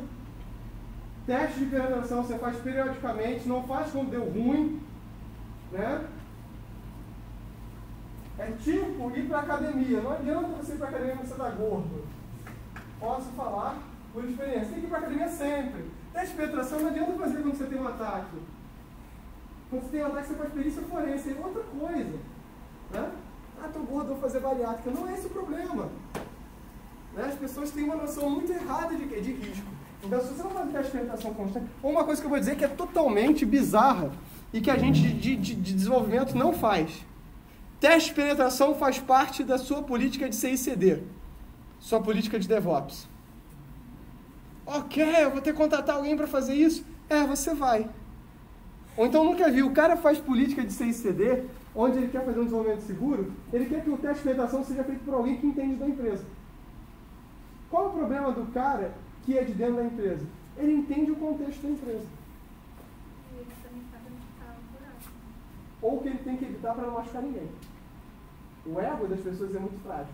Eu conheci um caso, conheci não, ouvi falar. Totalmente fictício. Qualquer semelhança com a realidade é mera coincidência. De uma empresa que queria fazer um teste de penetração.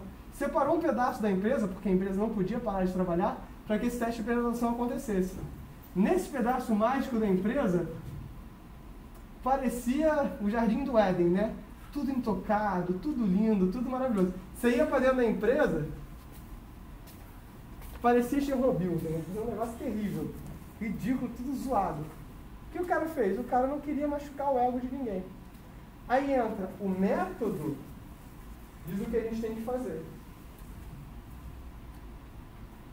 Mas a gente não pode entender que com a gente como TI, ou quando lida com segurança, a gente lida com pessoas. Quem aqui já foi tester? Fez Quality Assurance? Seu trabalho foi ser só o Quality Assurance de um determinado projeto de software. Então, há um tempo atrás era muito comum ter a figura do tester, o cara que escrevia testes unitários e devolvia isso para os usuários finais, né? desenvolvia isso para os desenvolvedores. Esse cara é um cara muito amado na empresa. Porque o trabalho, o trabalho dele é dizer que a galera fez merda. hoje em dia a gente embute isso no nosso pipeline CICD, né? Você, você, quando você faz o deploy da tua aplicação, já roda os testes, o teu, o teu, o teu manager aceita ou não as, as modificações que você fez, tudo isso num pipeline bonito. Isso é uma coisa que eu sinto muita falta da gente ver aqui na universidade. A gente praticamente não trabalha com vocês esses pipelines CICD. Porque vocês têm que apanhar. Porque apanhar aqui é melhor que apanhar na rua, né? Aqui tem relação café com leite. Aqui qual a pior coisa que pode acontecer se tiver uma nota baixa? Ah, baixa serve. Nossa, que pena, coisa triste. Lá no mundo real, Pode ser ferramenta bem feita. nossa, jubilar, cara. Ah, dá pra jubilar. Dá, dá. Pode ser mas tem que fazer muito esforço, né, Essa galera? namorada vai ser divertido pelo visto. Não, é ju- jubilar o quê, cara? Você tem que aprovar quatro vezes pra jubilar, cara. Assim, é pedir, pedir música no Fantástico e mais uma. Dá, dá. E a- além disso, você ainda pode pedir trancamento especial. Ah, velho, já estão na mamata. Aqui tá, tá- a galera aqui tá, tá tratando vocês com tadinho, né? Pô, não dá não. Quer dizer, dá. Mas sim. Porra, que esforço que a galera tem que fazer. Enfim, mas assim, cara, o pipeline sem CD, cara, não vai, não vai matar ninguém, né? Mas eu sinto falta disso. Acho que vocês têm que ser expostos mais ao que vai ser lá fora. É claro que a pesquisa é excelente, gente. Pesquisa é tão maravilhosa que eu escolhi fazer isso na minha vida. Escolhi ser professor. Mas esse não é o único perfil possível. Espero que alguns de vocês sejam técnicos de empresa, alguns de vocês abram empresas, alguns de vocês vão dar consultoria, alguns de vocês vão fazer vão usar a faculdade, vão, vão viver de outra coisa, porque isso também, porque o papel da faculdade não é só formação técnica, o papel da faculdade é formação cidadã. Eu falei sobre isso com vocês na primeira aula, e eu reforço hoje. É muito importante você ter a formação cidadã, porque a universidade te dá essa formação como cidadão, que também é técnica por um acaso. E que no caso da formação de vocês, particularmente, paga bastante bem. Né? Não é o caso de toda a formação. Não quer dizer que a profissão seja menos nobre por causa disso. Justo isso? Faz sentido? Quando não fizer sentido, vocês podem me avisar, gente. Vocês têm todo o direito de discordar. A única coisa que vai querer avisar é que vocês estão errados. Mas Vai ter letivazinha de CCD? eu estou dando em programação avançada. Eu mudei o curso de programação avançada para incluir CICD. A gente está fazendo. Programação avançada hoje a gente faz com o pipeline de JavaScript, que é o HTML, CSS, JavaScript, Node.js, React, Nest e Next. E a gente vai trabalhar isso com Docker e um pipeline de CICD usando o GitHub Actions. Cláudio, por que o GitHub Actions? Porque é de graça. E aí a gente vai usar o Jest para fazer teste unitário. Porque, cara, programação avançada eu não estava gostando muito da ementa não. E aí quando eu entrei eu preferi mudar. O primeiro curso foi muito ruim, o segundo foi ruim, o terceiro foi mais ok, agora eu devo dar pela quarta vez. Mas eu tenho fé. Né? Mas vamos nessa ali. Assim a gente vai dar DEPS no, em programação avançada. Ether.js para fazer aplicações com Solidity. E tem uma empresa que já me contatou querendo contratar alunos da FRJ para trabalhar com blockchain. Então, assim, eu vou passar para vocês o link também para quem estiver procurando estágio. Eles, inclusive, pagam muito bem. Quase que eu vou fazer o estágio com eles também, porque... Gente, 3.500, mais participação nos lucros, mais benefícios, aí, pô, limpo? Tá bom, tá legal. Né? Apareceu o segundo papel. Preparação de uma avaliação faz com que o desenvolvedor tenha mais cuidado com a estrutura do desenvolvimento do sistema. Então, você saber que você vai ser avaliado pela besteira que tu fizer,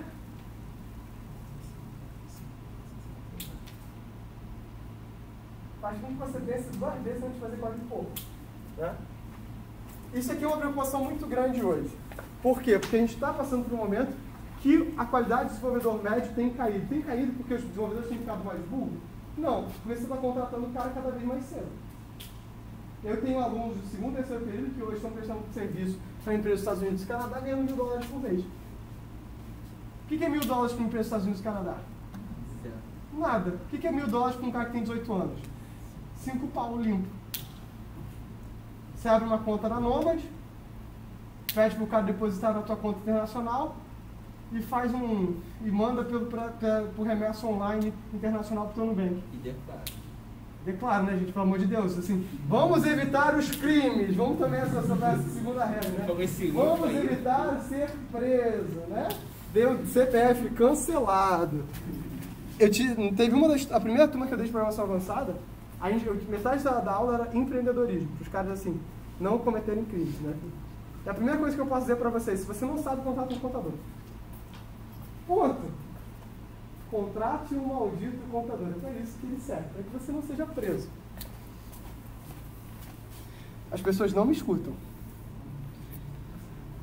E aí entra essa RFC que eu falei para vocês. A RFC vem de Request for Comments. É um padrão, não é, RFCs não são necessariamente padrões, mas são recomendações feitas para a internet. Então, a RFC 2196 é o Site Security Handbook. É um manual que vai conter políticas de segurança, arquitetura, serviços de segurança e procedimentos, políticas para tratamento de incidentes, de atividades de isolamento, ferramentas e endereços e um mailing list, ou seja, na verdade, que esse documento diz o seguinte, como você escreve um documento para quando vai dar treta. É um documento sobre como você se precaver de problemas. Olha que louco! Como é o tratamento da- de, problemas hoje na maior parte das empresas? O cara começa a gritar "Ah!" e girar em torno do próprio eixo.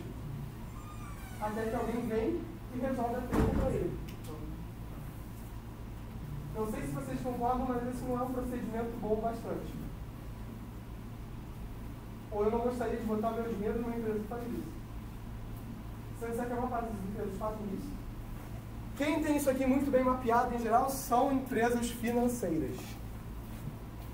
Bancos, investimentos. Por quê? Porque eles estão sob leis muito mais rígidas que o resto do país. Olha, vocês sabiam que o setor bancário brasileiro é um dos setores que mais investe em segurança e informação no mundo? Vocês sabem por quê?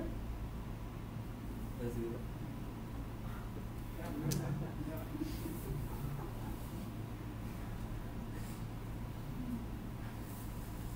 Gostei. Mas não concordo. Mas eu acho que o timing foi perfeito. E, na verdade, assim, a legislação, assim, uma, uma coisa que é muito legal na legislação brasileira é que o ônus do serviço é de quem presta o serviço. Por exemplo, se você tem, ah, tá, tem um site de banco nos Estados Unidos e alguém ganha acesso à tua conta, ao teu internet banking, ou, ou tira do teu do caixa eletrônico, o ônus é teu. Prova que, que a culpa é do banco. No Brasil, é o contrário. A culpa é sempre do banco, que o banco é que tem que provar que a culpa não é dele. Isso é totalmente uma quebra de paradigma. Isso é uma coisa muito positiva do ponto de vista de você como consumidor. É claro que isso aumenta os custos do banco. A gente sabe que aqui no Brasil não, o melhor negócio é um banco. É um banco. O segundo é um banco mal administrado. Então, assim, não tem banco que perde dinheiro. O cara tem que fazer uma cagada muito grande aqui. Nossos juros é- são muito altos, mesmo baixos são altos. Taxa Selic, essas coisas todas assim. Então, gente, tem, tem, tem complicações, tem complicadores aí. Gente, quais são? 2,32. Tem aula infinita ainda. Então, assim, esse cara aqui, ter um documento desse é essencial para começo de qualquer projeto. Eu sempre recomendo. Vai começar um projeto grande, faz isso aqui, onde é que pode dar treta? Ah, mas o meu projeto hoje não está na web. Gente, onde é que você está? 1984? Né? Que projeto assim? Quantos de vocês hoje estagiam ou já estagiaram? Fizeram IC? Pretendem? Estava aqui de bobeira, entrei aqui na sala e vim fazer aula. Tá vendo a galera rindo, achei que era bacana. Né? Mal sabem que estão sendo gravados. Né? Vamos nessa aí. É, então, na verdade, assim, todo, toda, todo software que você faz em geral, ele é um software hoje que se comunica com a internet de alguma forma. Vocês concordam com isso? É razoável isso? Ou é uma aplicação, ou um software. Quando foi a última vez que fizeram um software desktop não fosse para seguir? Alguma aplicação muito específica. Da IC eu tô fazendo. Hã? Da IC. Ah, tá, mas é um, É. uma coisa muito específica, né? Eu vejo muita coisa para seguradora sendo feita ainda como software desktop. Que eles aca- acabam acessando mainframes que não estão ligados direto à internet. Os caras preferem não usar a aplicação web. Mas é um cenário super específico que eu nunca entendi por que não fazer uma página web dentro de uma intranet. Mas, tá dando bem, né? Que bom. Então, assim, poucos são os cenários. Agora, pensa o seguinte, assim, quais são os softwares que vocês mais usam hoje no, no dia a dia de vocês? Você abre o computador, qual é o primeiro software que você abre? Chrome? De- Sem ser o Chrome, o que, que vocês vão mais usar? Discord. Discord? Empresa- Não, eu sei o que é Discord, gente, pelo amor de Deus. Não... Empresa de empresa de jovens, não Discord. Empresa moderna usa Steam. Que mais? Steam. Word nada, né? Todo mundo vai pro Google Docs, é isso? Só isso. Latex, O Latex. Deus abençoe vocês. Né? Ah, eu uso o Miro. Miro? que mais? Graças a Deus, estava esperando alguém falar, né? Tivesse code. E aí, ninguém? E aí eu também. Ah, pelo amor de Deus, muito muito. Olha, tu dobra a sua língua, rapazinho. Hã? Não, não dá, não dá não, galera. O Micro, pra quem não conhece, assim, quem tá, quer fazer a transição é, VS Code para o modo texto, o Micro é um ótimo editor de texto é, que usa os mesmos a teclas de atalho do VS Code. né? Então, assim, é bem legal para quando você precisa. A vantagem do VI é que eu uso a mesma coisa no browser, uso a mesma coisa no, no Windows, no Mac, no, no Linux, a mesma coisa, essa é a única vantagem. Mas agora o VS Code também tem para tudo, né? Então não posso nem falar isso. Mas deixa você velho em paz. Desse cuida pra rodar handlers do navegador. coisa Sim, ué, é assim que eu uso no Android. Então, inclusive, tem um software muito legal chamado VS Code Server. Tá. Então vamos lá. No site Security Handbook, essa RFC, a gente tem dois termos, o administrador e o administrador de segurança, ou seja, é clara a distinção entre os papéis. Eu tenho o administrador que é responsável pela organização e o administrador de segurança que é responsável só pelo serviço de segurança. São papéis lógicos que fisicamente podem ou não ser a mesma pessoa. Eu posso ter, inclusive, grupos responsáveis por isso aqui. Tá? Mas eu tenho que identificar esse papel. O qual é o objetivo dessa RFC? Proporcionar ao profissional uma visão de um- rápida do que, de como a empresa está dividida. Um site pode ser um usuário final de serviço ou um provedor de serviço. Ou seja, site security handbook não é simplesmente a web, é site no sentido de sítio, de amplo. É o cenário onde você está aplicando o seu, seu programa de segurança. Tá?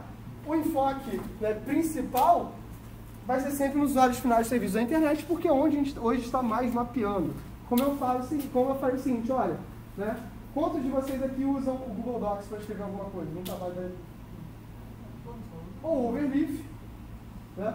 Mas qual, é, qual é o que tem em comum dos dois? Você abre o Chrome e vai usar o Safari, ou Firefox, ou o que quer que seja, e você vai usar esse serviço web. Né? Ou Office 365. Né? E quais são os passos para você pensar a segurança? Identificar o que você está tentando proteger. Gente, isso aqui é a coisa mais importante da, da- da vida de vocês. É a coisa mais importante de qualquer coisa que você vai fazer na sua vida. Pessoal, profissional, espiritual, o que que diabos você quer fazer? Ponto. O que diabos você. O que que você está fazendo aqui? Se você sabe isso aqui, o que você está tentando fazer? Qual é o objetivo final? Começa por um, é um ponto bom. Por exemplo, o que, que vocês vêm fazer aqui numa tarde chuvosa de quinta-feira? Terminar a faculdade. Terminar a faculdade. Aprender. Objetivos diferentes e ambos válidos. Você tem um objetivo, se você tem um objetivo, o que, que você pode ter a partir do objetivo? O que, que eu preciso para. Você acabou de falar o objetivo. Não. Não, teve duas pessoas que falaram. Aprender. Aprender. Terminar a faculdade. Terminar a faculdade. Aprender é mais complicado. Vamos terminar a faculdade primeiro. O que eu preciso para terminar a faculdade? As matérias, né? Concluir as matérias. Para concluir matérias, o que eu preciso fazer? Muitas coisas. Estudar o colar. Vamos simplificar, galera. Vamos fazer uma matéria fictícia. Qualquer semelhança com a realidade é mais coincidência. Né? Estudar o colar. Mas vamos assumir que isso você só estuda, porque colar é crime também, né? né? Ainda mais em meio federal também é complicado. Né? Então, assim, eu vou preciso estudar, eu preciso concluir as atividades. Estudar por si só não é suficiente. Sim. Né?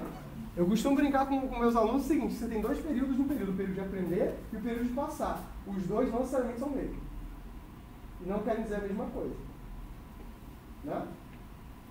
Tem muita gente que é muito boa de fazer prova na hora do dia a dia, É difícil. Tem muita gente que na hora da prova é uma negação, mas no dia a dia é ótimo de trabalhar. Também é difícil. Determinar do que, que você está tentando se proteger. Se você quer terminar uh, as disciplinas, quais são os impeditivos que você tem para terminar as disciplinas? Aí de você se falar professor. Sono. Você foi rápido, você foi rápido agora. Sono. Sono, cansaço, né? Você chegar, por exemplo, tinha um aluno meu que para chegar às 8 horas da manhã aqui na faculdade, ele tinha que sair de casa às 5 e meia da manhã. 5 e meia da manhã, minha alma não estava boa. Com certeza não. Eu posso ir dormir às 5 e meia da manhã, mas acordar é sacanagem. Horas da manhã. Então isso é um problema? Como eu mitigo esse problema? O quão provável é isso? Se eu tenho aula todo dia, é bastante provável, né? Razoável? Quais são as medidas que vão, é, que vão me permitir chegar na sala de aula no horário? Essa é uma medida um pouco radical. né? Essa é uma medida um pouco radical. Mas é justo. Pode ser que num caso grave do risco, isso aconteça se você vai pegar um, um.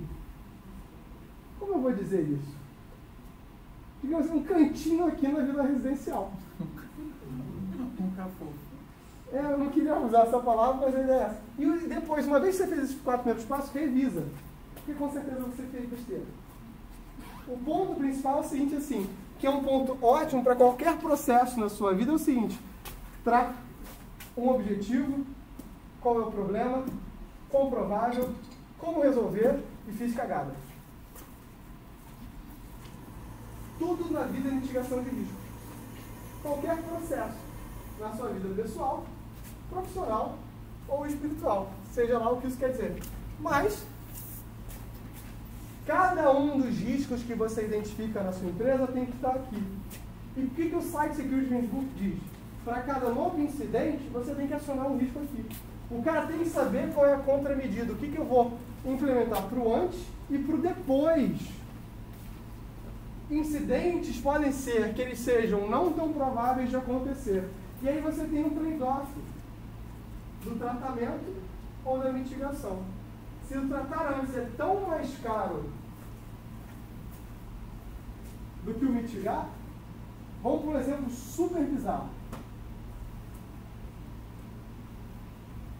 Vai cair um meteoro no planeta Terra. O quão provável isso acontecer? Baixo. Na história da humanidade aconteceu um grande meteoro, tá? O meteoro cai todo dia. Um grande meteoro capaz de, de mudar o nosso, o nosso clima. Aconteceu duas vezes em alguns bilhões de anos. Depois que a vida começou. O risco é? O, o, o, probabilidade é baixa, o risco é baixo. Mas se acontecer, dá uma zica, né? Basta que aconteça uma vez para que dê ruim. Pensa o seguinte: quem aqui já, já, já usou, já viu a PSN? PlayStation Network. A PlayStation Network começou entre o PS2 e o PS3. Tá? Foi a forma que a Sony descobriu de evitar a pirataria. Se você baixa da, da, da, da minha página, para que, que você vai comprar um CD pirata? Se é barato baixar na minha página, por que, que você vai piratear? Se o Netflix te entrega o filme sem que você tenha que buscar um torrent, por que, que você vai piratear o filme? Sim, tem 700 mil serviços de streaming agora. Então, nota a questão, né? Tem uma dicotomia, gente. Isso eu estou falando, parece brincadeira, mas tudo está relacionado com isso aqui, todas essas coisas sem dicotomias. Né? A Sony usava Apache no servidor Debian. Um Apache desatualizado. Alguém usou um exploit no Apache desatualizado da Sony e vazaram o cartão de crédito das pessoas, do, dos, dos consumidores, dos clientes. A Sony perdeu 5 bilhões em valor de mercado num único dia. É factível? Então tá como aconteceu. Então olha o seguinte, probabilidade versus impacto. Uma coisa que tem uma baixa probabilidade e um baixo impacto, vale a pena ser mitigado? Não. É, operadora de telefone, dados. Claro, vivo, todas elas. Elas preferem é, ficar pagando processos, porque são poucas pessoas que processam, quando a nossa cultura de não processar, do que resolver os problemas, que é muito processo, porque ah, aumentou meu plano, veio cobrança e tal. Eles sabem desses problemas, então mitigar na hora ali. É, mas aí o problema continua acontecendo e aí eles preferem, é mais barato para eles continuar pagando os processos e que for de vir do que solucionar essas questões e prestar um serviço de melhor qualidade. Para vocês. Vocês estão vendo isso aqui? Esses passos 1 a 5? Escolham uma atividade do dia a dia de vocês. Uma. E me tragam isso aqui na próxima aula. Exercitem esse raciocínio crítico. Vou colocar quando criar o Classroom, vocês vão ter acesso aos slides, vão ter acesso a tudo. Tenham fé. Isso aqui está no site Security Handbook. É justamente esses passos para um plano de segurança. Então, os pontos né, que são interessantes da RFC e que são verdade. As maiores perdas ocorrem com intrusos internos à organização. Então, aquela figura do hacker externo, né, com hábitos de higiene questionáveis, né, tipo assim, que está usando um, um casaquinho de moletom com capuz, que está programando assim, de noite. Né? A gente tem mais problema com o Snowden que com esse tipo de cara. Mr. Robert mentiu pra gente. Inclusive, várias coisas do Mr. Robert são fáceis de fazer, tá? São bem fáceis de fazer. Não, não vou fazer isso. É... Um Snowden é pior do que um Mr. Robert. Quando se pensar numa, numa política de segurança, o que proteger, do que proteger e como proteger. Essas três coisas são fundamentais. Os recursos têm que ser mantidos íntegros, disponíveis e confiáveis. Cada ameaça deve ser avaliada como ela pode afetar integridade, disponibilidade e confiabilidade. E qual é o problema disso? Você usaria um e-mail que eu possa acessar? Que eu, Cláudio, posso acessar? Isso que eu quero dizer. Não. Por quê? Eu sou tão confiável. É, você usaria um e-mail que some e-mails? Você usaria um e-mail que o e-mail é corrompido e alguém muda uma palavra? Não. A gente usa. Isso é phishing. Olha que louco quando a gente põe isso em perspectiva. O quanto ainda falta. E a gente está usando. Por quê? Porque o não usar e-mail é pior. Ou o que eu falei ontem para os meus colegas. Quem poderia pegar o celular e jogar hoje no lixo? E teria uma vida tão boa ou melhor do que a que tem hoje? Nada mais de WhatsApp, nada mais de internet banking, nada mais de Uber, nada mais de iFood, nada mais de e-mail no celular, nada mais de YouTube, nada mais de Netflix. Se você quisesse usar qualquer coisa dessa, tinha que andar, pegar um computador e começar a trabalhar. Um burrofone, no máximo. Como é que vocês se sentiriam em relação a isso? Nem cheguei em casa. Hã? Nem cheguei em casa. nem chegaria em casa. Então, assim, nota mais uma vez o quanto os nossos serviços mudaram. Eu me lembro do meu primeiro celular. Eu era adolescente e digamos que eu sumi por algumas horas. Acontece. Vocês já foram adolescentes? Meu pai assim, Cláudio, onde você estava? Por aí. Nota do editor, meu pai era um ex-sargento do exército. Ele falou assim, isso é um celular. Eu falei, legal. A resposta dele, ai de você se quando eu ligar você não atender. Não é tão legal. E foi assim que eu tive acesso ao meu primeiro celular. Mas o que, que tinha naquele celular? Liga e SMS. E SMS é uma coisa que aqui no Brasil, quem aqui usa SMS? Só para autenticação de serviço. Se tanto, né? É. Manda pro e-mail. Esse é bom. É, ok. Nos Estados Unidos eles não têm o uso do WhatsApp. Por quê? Porque SMS para eles sempre foi muito barato. E inclusive, né, para vocês terem noção de como isso é interessante, a LG e a Samsung tinham um celular chamado celulares Messenger, que eram com slide com tecladinho justamente para essa cultura de mandar SMS. Só que cada SMS aqui no Brasil era 50 centavos, né? E aí, galera, não tinha condição não. Hã? Caríssimo, né? Aí não tinha condição não. Agora tem SMS limitado, a gente usa o WhatsApp para tudo. Então, é muito interessante a gente ver essas mudanças. Para vocês terem noção de como esses hábitos eles afetam a segurança das organizações, no final da vida do Orkut, antes do Google descontinuar o Orkut, o Orkut gerava para o Google anualmente 200 milhões de dólares em receita. o Google gastava tipo uns 20 milhões de, de, de reais, de dólares, para manter o Google o Orkut funcionando. Em termos de servidor e, e funcionários. Tinham cinco engenheiros de software do Google no planeta que mantinham o Orkut no final da vida deles. Três do Brasil e dois da Índia, que eram os únicos dois países que usavam essa porcaria. E assim, como é que você joga fora um negócio que, que te dá 10 vezes o valor que você investe? Parece idiotice, né? Parece um negócio que não faz sentido, né? Imagina, eu te dou um investimento que te dá 1.100% de, de, lucro. Os caras falavam, cara, mas 200 milhões de dólares, pra gente, é um bom valor, mas não justifica a gente perder. Porque você tem uma rede social que perde, que não é melhor para o Google, é mais prejuízo para a minha imagem do que eu não ter. Olha que, que pensamento, né? Pensamento interessante. Né? E você, Cláudio, ficava com os 10%, vezes 10. Né? O que, que eu tenho que proteger? Recursos, hardware, software, dados, né? Dados, né? Is the new oil, né? A gente dá, eu, eu, eu- quando eu fundei o Analytica, né? O, a equipe de competição em Data Science, a minha, a minha preocupação é que vocês tinham pouca formação em dados dentro da Fernanda. Tinha muita coisa de aprendizado de máquina, de IA, mas não algo que você pegasse e fosse competir. Isso é era uma coisa que para mim é muito essencial. Né? Então, hoje, os dados são a nossa principal fonte de informação. É claro que hardware é caro, mas hardware virou commodity. É muito mais barato do que era 10 anos atrás, há 20 anos atrás. Ou, como eu sempre falo, hoje vocês podem ter um computador em- com vocês. O notebook não é algo que é tão fora da realidade. É claro que, né, tá- eu vi um meme, né, que um computador de 3 mil reais em 2018, com 47, 8 GB de RAM, né, computador de 3 mil reais em 2021, Só ó, é é um dual core com 2 GB. Não, o Chrome S ainda está barato. Ainda está barato.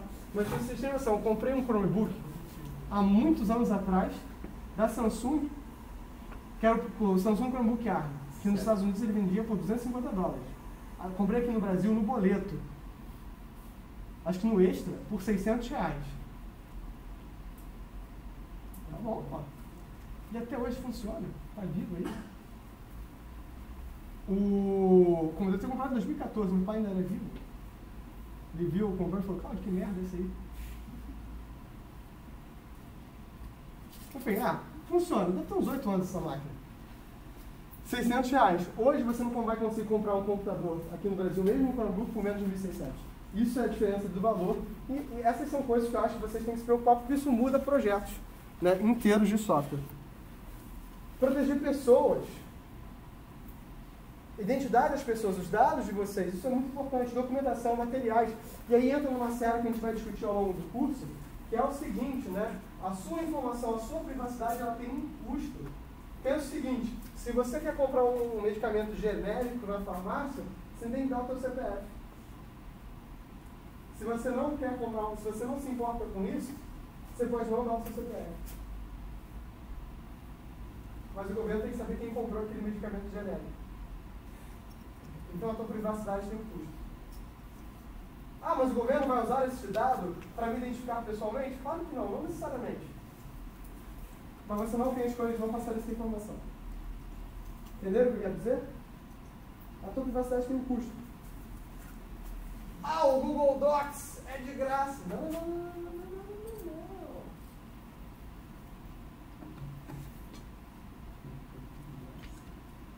Algo de errado não está certo. Quem que paga para usar o Olivice? Todo mundo. Só não paga com dinheiro. Então, essas são questões muito interessantes que vocês têm que começar a se preocupar. Ou, como eu costumo dizer, se você só está lendo livro de computação, você está lendo errado. Né? Quem aqui já leu 1984? Leu de verdade, não sabe o que é. Admirável Mundo Novo. Neuromancer. Alguma coisa do Isaac Asimov. É muito importante entender para onde a nossa sociedade está indo. É claro que os livros são caricatos, tá, gente? As coisas são carica- ca- ca- caricaturas. Né? As coisas são caricatas, mas a gente ca- caminha onde as pessoas precisam ser protegidas. Ou, como eu brinco quando dou IoT, 90% do que aparece no Black Mirror é, possível, é tecnologicamente possível hoje. Se você pega o terceiro episódio da primeira temporada do Black Mirror, que é um crédito social, alguém já ouviu falar de Serasa?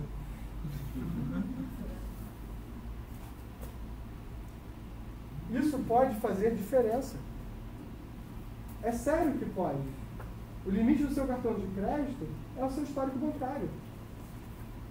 Pode fazer diferença na sua vida.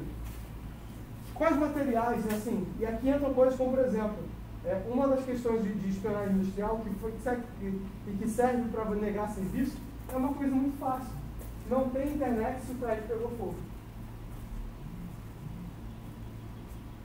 Faz sentido, né? Aquele meme do cachorrinho com as coisas pegando fogo, tá tudo bem? É, não tá. Né? E isso é mais comum do que vocês imaginam. né? Eu, tive, eu contei para vocês do caso do, do- do meu amigo que teve né, o escritório de advocacia que pegou fogo. Então eu tenho um amigo que ele tem um, tem, eu tinha um escritório de advocacia e esse meu amigo é carne de pescoço. Pensa um cara que é durão. Eu não quer dizer que ele é porradeiro, mas tem um cara que é durão, assim, que a vida bate, ele diz, bate, bate, bate que nem homem agora. É um cara assim, pô, já teve todos os problemas e continuaria. Tipo assim, não, vai dar tudo certo. A vida bate nele, né? Tá brincando de macubar o olho.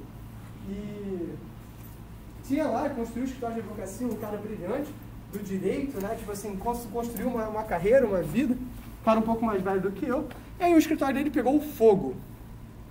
E como a maior parte das pequenas empresas, a gente vai falar sobre segurança física, tá, gente? Integridade física dos dados.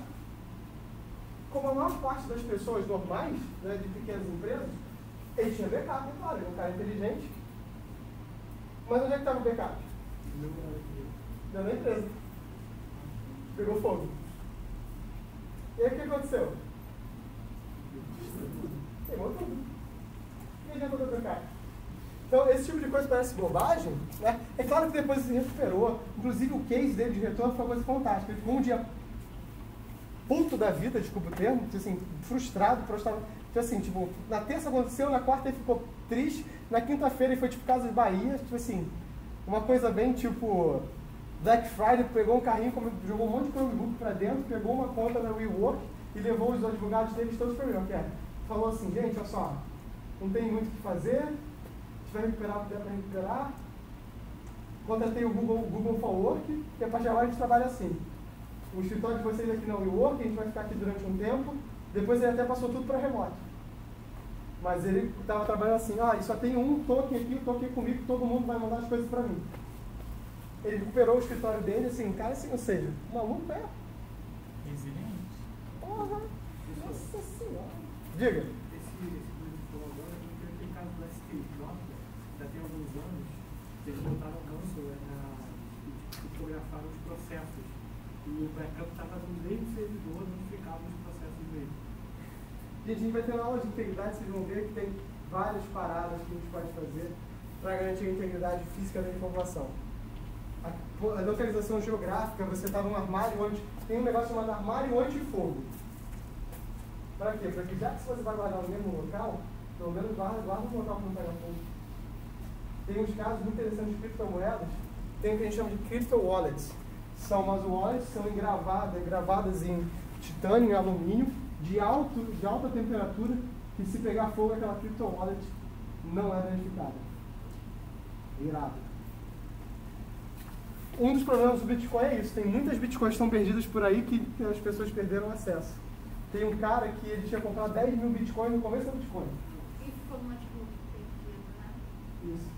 Que ele jogou no lixo. E hoje ele passa, ele dá dois anos, ele namoro emprego há dois anos para buscar o notebook perdido no bichão. Porque essas 10 mil bitcoins valem tipo 80 milhões de dólares. Uma coisa absurda.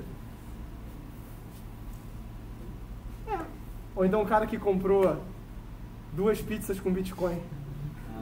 10 mil bitcoins. É uma quantidade assim absurda também. Gente, isso faz parte do jogo, isso faz parte da.